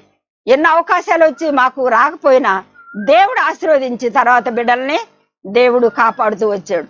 అలాగూ దేవుడు ఆయన కృప ద్వారా మరి మమ్మల్ని ఆయన ఏర్పాటులోని తీసుకున్నాడు. తర్వాత తమ్ముడు రెండు వేల తొమ్మిదిలో చనిపోయాడు. ప్రభు దగ్గరికి వెళ్ళాడు. ప్రభుతో ఉన్నాడు. నా తమ్ముడు చాలా ఆత్మీయుడు మంచి వర్తమానీకుడు. అనేక ఆత్మలు సంపాదించి ఆరంభంలో ప్రతిపాటులో సంఘాన్ని కూడా ఏర్పాటు చేశాడు. తర్వాత మరి నా తల్లి కూడా రెండు వేల ఒకటిలో చనిపోయింది. నా తల్లి. భక్సింగ్ గారు రెండు వేల రెండులో రెండు వేలలో చనిపోయాడు. ఇలా ప్రభు దగ్గరికి వెళ్ళాడు. కాబట్టి మరి దైవ సేవకులతో నాకు ఇచ్చిన మరి ఆనందము నా శ్రమలు నేను మర్చిపోయేదాన్ని. అరవిందం గారు అనేక స్థలాల్లో ఆ దేవానందం ఉమ్, పర్చూరులో సేవ చేసేవాడు. సాంబయ్య అని ఆయన నూతలపాట్లో సేవ. వాళ్ళిద్దరూ అన్న దగ్గర తరబిది పొందితే అప్పుడప్పుడు మీటింగ్లు పెడతా ఉండేవాడు. నేను వెళితే నిజంగా నేను శ్రమలో ఒకసారి చాలా నిరుత్సాహపడి చాలా శ్రమల్లో నిందల్లో నేను చాలా కృంగిపోయి వెళ్ళాను ఒకసారి. అప్పుడు దయజండు అరవిందం గారి యొక్క వర్తమానం ద్వారా ఆత్మీయంగా నన్ను ఒక మలుపు తిప్పాడు అన్నమాట నిజంగా శ్రమలు ఎంత అవసరమో ఇంకా నన్ను బలపరిచాడు. చాలా మంది ఆ నీటిని గురించిన ఆసక్తి నన్ను భక్షిస్తుంది కీర్తనలు. అరవై తొమ్మిదిలో ఏదో ఉంది అక్కడ ఉంది. ఆ గురించి ఆసక్తి నన్ను భక్షిస్తుంది ఆ నా నా- నెలవారులే నన్ను ద్వేషించారు అనే వర్తమానం ఇచ్చాడు దైవజనుడు. ఇలా దైవ సేవకులు ఎంతో మంది తర్వాత ఆ నిన్ను నిందించు వారు నింద నా మీద ఇలాగ దేవుని వాక్యం ద్వారా ప్రభు ప్రతి సందర్భంలో దేవుని యొక్క వాక్యము నన్ను ఎంతగానో ఆదరిస్తూ వచ్చింది. మరి ప్రభు అమ్మను పిలుచుకున్నాడు తమ్ముని పిలుచుకున్నాడు నేను ఇప్పుడు ఆ ప్రభువుని అడుగుతున్నా ఎందుకు ప్రభా? నా తల్లిని నా తమ్ముడిని అందరిని పిలుచుకున్నావు దైవ సేవకులు అందరు వెళ్ళారు. ఓసారి అమృతరాజు గారు చనిపోయినప్పుడు నేను చాలా దుఃఖపడి ఏడ్చాను. ఆ ఎందుకు ప్రభా? దయచేయండు అమృతరాజు గారిని ఎందుకు తీసుకున్నావు? ఆ అన్న నుంచి నన్ను తీసుకోకూడదని ఏదో ఉపవాసం ఉండి ప్రార్థన చేస్తే అప్పుడు ప్రభు నాతో మాట్లాడాడు. యశ యాభై ఏళ్ళు రాబో కీడు చూడకుండా నీతిమంతులు కొనిపోబడుతున్నారని. మరి దైవ సేవకులందరూ వాళ్ళ యొక్క సేవ ముగించి తండ్రి లాంటి వారు వాళ్ళ ప్రేమను వాళ్ళ పేరెత్తితేనే హృదయం ఎంతో ఒకవైపు ఆనందం ఉంటుంది. కృతజ్ఞత బాష్పాలు రాలుతూ ఉంటాయి. నిజంగా అటువంటి దయజుని భక్సింగ్ గారి ద్వారా నిజ ఈ పరలోక నమూనాన్ని భూలోకంలో తీసుకొని రావటానికి దయజుని భక్సింగ్ గారిని. దేవుడు ఏర్పరచుకొని నా ఆత్మీయ తండ్రిగా దయజనుడు భక్సింగ్ గారు రావడం ఈ పరలోక నమూనా మనకు చూపించడం అనేది మరి నిజంగా దేవుడు చూపించిన ఆ కృప ఎంతో విస్తారమైంది. దయచేని దినాల్లో మరి ప్రతి కానుకేషన్కి వెళ్తూ ఉండేదాన్ని. జూన్ ఐదో తారీఖు దయచేయండి పుట్టినరోజు వెళ్తూ ఉండేదాన్ని. అలాగూ ప్రభు దేవుని మహిం కొరకు నన్ను మరి నిలబెడుతూ వాడుకుంటూ వచ్చాడు. ప్రభు నాకు ఇచ్చిన ఆ కృపా వరాలు ఆయన సేవలు ఆయన పరిచర్యలు వాడుకుంటూ వచ్చాడు. తిరిగి అనేక ఆత్మనిచ్చాడు నేటి దినాల్లో ఒంటరి జీవితంలో ఉన్నాను నేను. దేవుని వాక్యంలో ఉంది. మరి ఆయన బలిపీఠం యొద్ద పిసుకులకు నివాసము బాణకోగిలకు గూటి స్థలం అని ఆయన బలిపీఠం యొద్దనే నాకు మరి నివాసం ఇచ్చాడు. ఆ శిలువ చాటునే ఆ కీర్తనలో తొంభై ఒకటిలో రాయబడింది సర్వోన్నతుని చాటు నివసించు ఆయన చాటు నివసించి ప్రభు కొరకు జీవించే కృప ప్రభు ఇస్తూ వచ్చాడు. కాబట్టి మరి వరగాని స్థలం మొదట దేవుడు ఆశీర్వదించాడు. ఆ తర్వాత పెద్దవేరిపాలెం ఈ ప్రాంతంలో దయజన్ను కూడా తీసుకుని వచ్చి ఇలాగూ చేశాడు. కానీ దేవుని యొక్క కార్యాలు ఎంతో ఉన్నతమైనవి. ఆయన ఉద్దేశాలు ఎంతో గొప్పవి. కాబట్టి ప్రియమైన వారులారా దేవుని కొరకు ఆయా శ్రమల్లో ఎడుతుంటే ధైర్యంగా ఉండండి. ఒక దైవ సేవకుడు చెప్పాడు ఉదయాన లేచి తెనాల్లో చెప్పాడు నేను మీటింగ్కి వెళ్ళాను ఫ్లాగ్ గారు అని దొరగారు. ఉదయాన లేచి ఏమని ప్రార్థన చేసుకుంటారని ప్రశ్నించాడు. అయ్యా మాకు సోదరులు కష్టాలు రాకుండా సహాయం చేయమని చేసుకుంటాము. అట్లా కాదంట. ఏమని ప్రార్థన చేయాలంటే ప్రభా ఈరోజు ఒక దినంలో మరి మేము ప్రవేశించాము. ఈ దినమున కావాల్సిన నిందలు మా కొరకు తీసుకొని రా. ఈ దినం మనకు కావాల్సిన అవమానం మా కొరకు తీసుకొని రా. అట్ట చేయాలంటే దేవుని బిడ్డలు. ఆ వార్త ఆ మాటలు విన్న తర్వాత నేను కూడా చనాలు ప్రార్థన చేసుకున్నా. చనాలు అట్లా ప్రార్థన చేసుకునేదాన్ని నిజంగానే శ్రమలు వచ్చాయి. మరి ఏమనకుండా ఏం శ్రమలు లేకపోతే నాకు అసలు బాగుండేది కదా. ఏంది ప్రభా సప్ప సప్పగా ఉంది. ఎవరేమంటలేదు అనిపించేది. తర్వాత ఆ శ్రమలో ఎవరన్నా తిడుతున్నా ఎవరన్నా అంటున్నా.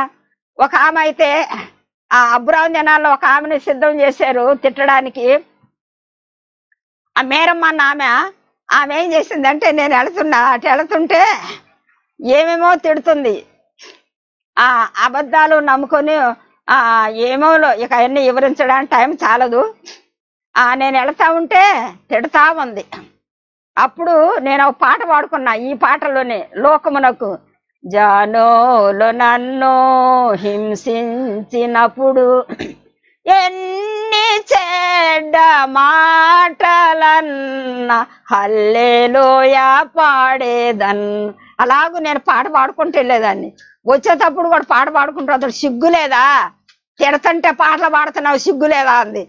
నేనైతే వాళ్ళ దేవునికి ఎంతో సంతోషంగా అట్లా ఎంతో సంతోషంగా దేవుని యొక్క దేవుని కొరకు శ్రమలు అనుభవిస్తూ వచ్చాము. దేవుడు ఒక అలుపురాలకి నాకు ఇచ్చాడు ఎందుకు? నేను ఎప్పుడు అనుకుంటా ప్రభా ఆత్మీయులకి గొప్ప గొప్ప గొప్ప దైవ సేవకులకి ఇవ్వాలా. నీ పక్షంగా శ్రమ అనుభవించడానికి దేనికి పనికిరాను? ఒక దుర్బలురాల్ని. ఏమి లేదు. అంత నిష్ప్రయోజనాలైన నాకు కూడా ప్రభు పక్షంగా శ్రమలు అనుభవించాడు అనుభవించడానికి కృప చూపించాడు. ప్రియమైన వారులారా ఎవరికన్నా దేవుని నామాన శ్రమలు వస్తే ఎంతో సంతోషంగా మీరు అనుభవించండి. శ్రమ వస్తే నాకెందుకు వచ్చింది శ్రమ అనబాకండి. ఆ శ్రమలో ప్రభువుని ఆరాధించండి. తర్వాత ఆత్మీయంగా ఎంతో మేలు పొందుతాం అనమాట కాబట్టి నేను ఇప్పుడు వృద్ధాప్యంలోకి వచ్చాను. నా కొరకు ప్రార్థన చేయండి. మరి వరగాడిలో ఉన్న ప్రభు బిడ్డలు ఈ రీతిగా మేమందరం కలిసి ప్రభువులు ఆనందించాము. ఈ చివరి దినాల్లో చాలా భయంకరమైన దినాల్లో ఉన్నాము. మరి ఆ దినాలు తలంచుకొని ఈ దినాలు తలంచుకుంటే మిగిలింది ఒకటే కన్నీరు ఒకటే మిగిలింది. ఆ దినాల్లో దైవసేవకులు మనోహరం గారని వరగండ్లో ఉన్నాడు కొంతకాలం ఆయన దాదాపు సం పదహారు నెలలు ఏమన్నాడు వరగాడిలో. అద్భుతమైన సేవ చేశాడు. ఆయన తర్వాత ముప్పై ఐదు గ్రామాల స్వార్థ ప్రకటించాడు వరగాడి నుండి. ఆ దినాల్లో మాకు కూడా చెప్తే మేము కూడా వెళ్ళాము. కాబట్టి దైవజనుడు మంచి నమ్మకమైన దైవసేవకుడు. చాలా నమ్మకమైన దైవసేవకుడు. ఆయన సేవ చేస్తున్నాడు. ఆయనకి నాకు ఒక్క వచనం ద్వారానే పరిచయం అయింది. నేను శ్రమలో వెళుతున్నా నేను ఒకరోజు ప్రభు నాతో కుటుంబ నా వ్యక్తిగత భాగంలో ప్రభు మాట్లాడాడు. ఆ కొరింది నాలుగు అధ్యాయంలో క్రీస్తు నందు ఉపదేశకులు పదివేల మంది ఉన్నా తండ్రులు అనేకులు లేరు అని మాట్లాడాడు. మాట్లాడితే అప్పుడు నేను నాకు అర్థం కాక పెదనందిపాడు ఆయన బస్ దిగాడు నేను వచ్చాను. అన్నా మీరు ఏ ఊరంటే నేను వరగాని గాడ్ సర్వెంట్ అన్నాడు. అని అన్న ఒక చిన్న వాక్యం చెప్పన్న దీని ఆ భావం ఏందో అని అంటే ఏంటమ్మా అన్నాడు. ఆ రెఫరెన్స్ చెప్పా. చెప్పంగానే అప్పుడు చెప్పాడు తండ్రి మనసు ఎలాంటిది? ఉపదేశకుడు మనసు ఎలాంటిది? ఎవరిని చెప్పాడు. తర్వాత ఇంటికి వెళ్ళంట ఎవరో ఒక సహోదరు నాతో కలిసింది. ఆమె మాట్లా ఆమె అడిగిన ఆ మాటలకు నేను సమాధానం చెప్పాను. అని చెప్పి తర్వాత ఇంటికి పోయి మోకరించి ప్రభా నన్ను ఉపదేశకుడిగా ఉంచొద్దు. నన్ను నేను బ్రతికినంత కాలం తండ్రిగా ఉంచమని ఏడ్చి ప్రార్థన చేసుకున్నాడంట. ఆ దినం ఆ వాక్యం ద్వారా అన్నక నాకు పరిచయం అయింది. ఈ ప్రాంతం నుండి ట్రాన్స్ఫర్ అయ్యి వెళ్ళాడు. మరి హుమనాబాద్లో సేవ చేస్తా ఉన్నాడు. దాదాపు అన్న వివాహం కాకముందే పరిచయము. ఆ వరగాళ్ళు ఉన్నప్పుడు కూడా వివాహం లేదు. తర్వాత చాలా కాలం మీద ఇరవై ఐదు సంవత్సరాలు ఆ మరి దైవ దైవ సేవకునితో నాకు పరిచయము. ప్రతి సంవత్సరం నేను కర్ణాటక వెళ్ళేదాన్ని పరిచర్యకి సేవ కొరకు. నెలేసి రోజులు సండే స్కూలు సిస్టర్స్ మధ్య అలా దేవుని యొక్క కార్యాల కొరకు మరి దే మరి ప్రభు నాకు సమయం ఇచ్చేవాడు. అలాగూ దైవ సేవకులు కూడా పిలువబడ్డారు ప్రభు దగ్గర ఉన్నారు. ఇలాంటి మంచి మంచి దైవ సేవకులతో నిజంగా ఆత్మీయమైన నిజమైన సేవకులతో ఆత్మానుసారంగా మరి దైవ సేవకునితో ఇచ్చినటువంటి ఆ గొప్ప పరిచర్య ఆ దినాల్లో నన్ను రక్షించుకున్న ఆయన కృపను బట్టి మరి దేవునికి ఎంతో వందనాలు చెల్లిస్తూ నా కొరకు ప్రార్థన చేయండి. చివరి దినాల్లో ఉన్నాము. పరిస్థితులు చాలా భయంకరంగా మారిపోయినాయి. కాబట్టి దయచేసి నా నా కొరకు ప్రార్థన చేయాలని కోరుకుంటూ ముగిస్తున్నాను. దేవుడి సాక్ష్యమును దీవించునుగాక ప్రేమ కలిగిన మా ప్రియమైన తండ్రి పరిశుద్ధుడైన మా ప్రభా నా రక్షణకు కారణభూతుడగు తండ్రి నా నిరీక్షణకు ఆస్పదమైన గొప్పదేవా ఎన్నడూ మారని మార్పులేని మా తండ్రి వాగ్దానములు ఇచ్చి నెరవేర్చే గొప్ప దేవా మాట తప్పని దేవా నీ పాదములకు వందనములు స్తోత్రము చెల్లిస్తున్నాను. అయ్యా నన్ను రక్షించి నా యొక్క క్రైస్తవ జీవితంలో నువ్వు నాయడలు చూపించిన నమ్మకత్వం ఎంతో గొప్పది. యాభై ఏడు సంవత్సరాలు నేను నీ ద్వారా అనుభవించింది నేను ఏమీ పంచుకోలేదు తండ్రి. నిజంగా నా ఎడలో చూపించిన ఆ ప్రేమ విస్తారమైన ఆ కృపను బట్టి నీ కొందనాలు ఆయా శ్రమల్లో ఆయా నిందల్లో అవమానములు దేవుని కొరకు నాయనా నేను నిజంగా తండ్రి తప్పితమునకై దెబ్బలు తినేలా ఏమి ఫలితము? మేలు చేసి శ్రమ అనుభవించమని అనేకమైన విషయాల్లో మేలు చేసి యథార్థంగా నీ కొరకు శ్రమలు అనుభవించి ఎంతో ఆనందించబడి ఎంతో ఆశీర్వదించబడి నిజంగా ప్రభా నన్ను నడిపించిన నీ కృపను బట్టి మీరు చూపిన మీ దయను బట్టి మీ మార్పు లేని నీ ప్రేమను బట్టి నిన్ను స్థుతిస్తున్నాను. దేవ ఆరంభ దినాల్లో ఎలాంటి ప్రేమ ఆరంభం నుండి అంతవరకు కూడా ప్రేమించే గొప్ప దేవుడు అయ్యా మార్పు లేని దేవుడు అయ్యా అందుకే మలాకి మూడు ఆరులో సెలవిచ్చేవయ్యా యహోనైనా నేను మార్పు లేని వాడను అని. నిజముగా నువ్వు మార్పు లేని దేవుడు అయినందుకు నిన్ను స్థుతిస్తూ ఈ సమయంలో ఇచ్చిన ఈ సమయాన్ని బట్టి దేవాన్ని పాదాలు కొందనాలు చెల్లిస్తూ బిడ్డలను బట్టి ఇక్కడికి వచ్చిన బిడ్డలను బట్టి వాళ్ళ ప్రేమను బట్టి వాళ్ళ యొక్క త్యాగమును బట్టి కూడా నేను నిన్ను స్థుతించి ఆరాధిస్తూ ఈ కొద్ది సాక్ష్యాన్ని మీరు దీవించండి ప్రభా. విన్నప్పుడు ప్రభు బిడలు అనేకులు ఆత్మీయంగా మేలు పొందడానికి సహాయం చేయమని. నాయన సమస్తమును నమ్మకంగా చేసిన నమ్మకమైన నా దేవునికి నీ నమ్మకత్వాన్ని బట్టి నీ మంచితనాన్ని బట్టి నీ ఓరిమిని బట్టి నీ సహనాన్ని బట్టి. ప్రభా అపనమ్మకస్తురాల నన్ను ఎంతవరకు కాపాడుతూ వచ్చి నీ కృపను బట్టి నిన్ను స్థుతిస్తూ మహిమ ఘనత ప్రభావం ఆరోపిస్తూ ఏసయ్య పరిశుద్ధ నామలో స్థుతించి ప్రార్థించి వేడుకుంటున్నాము తండ్రి. ఆమెన్.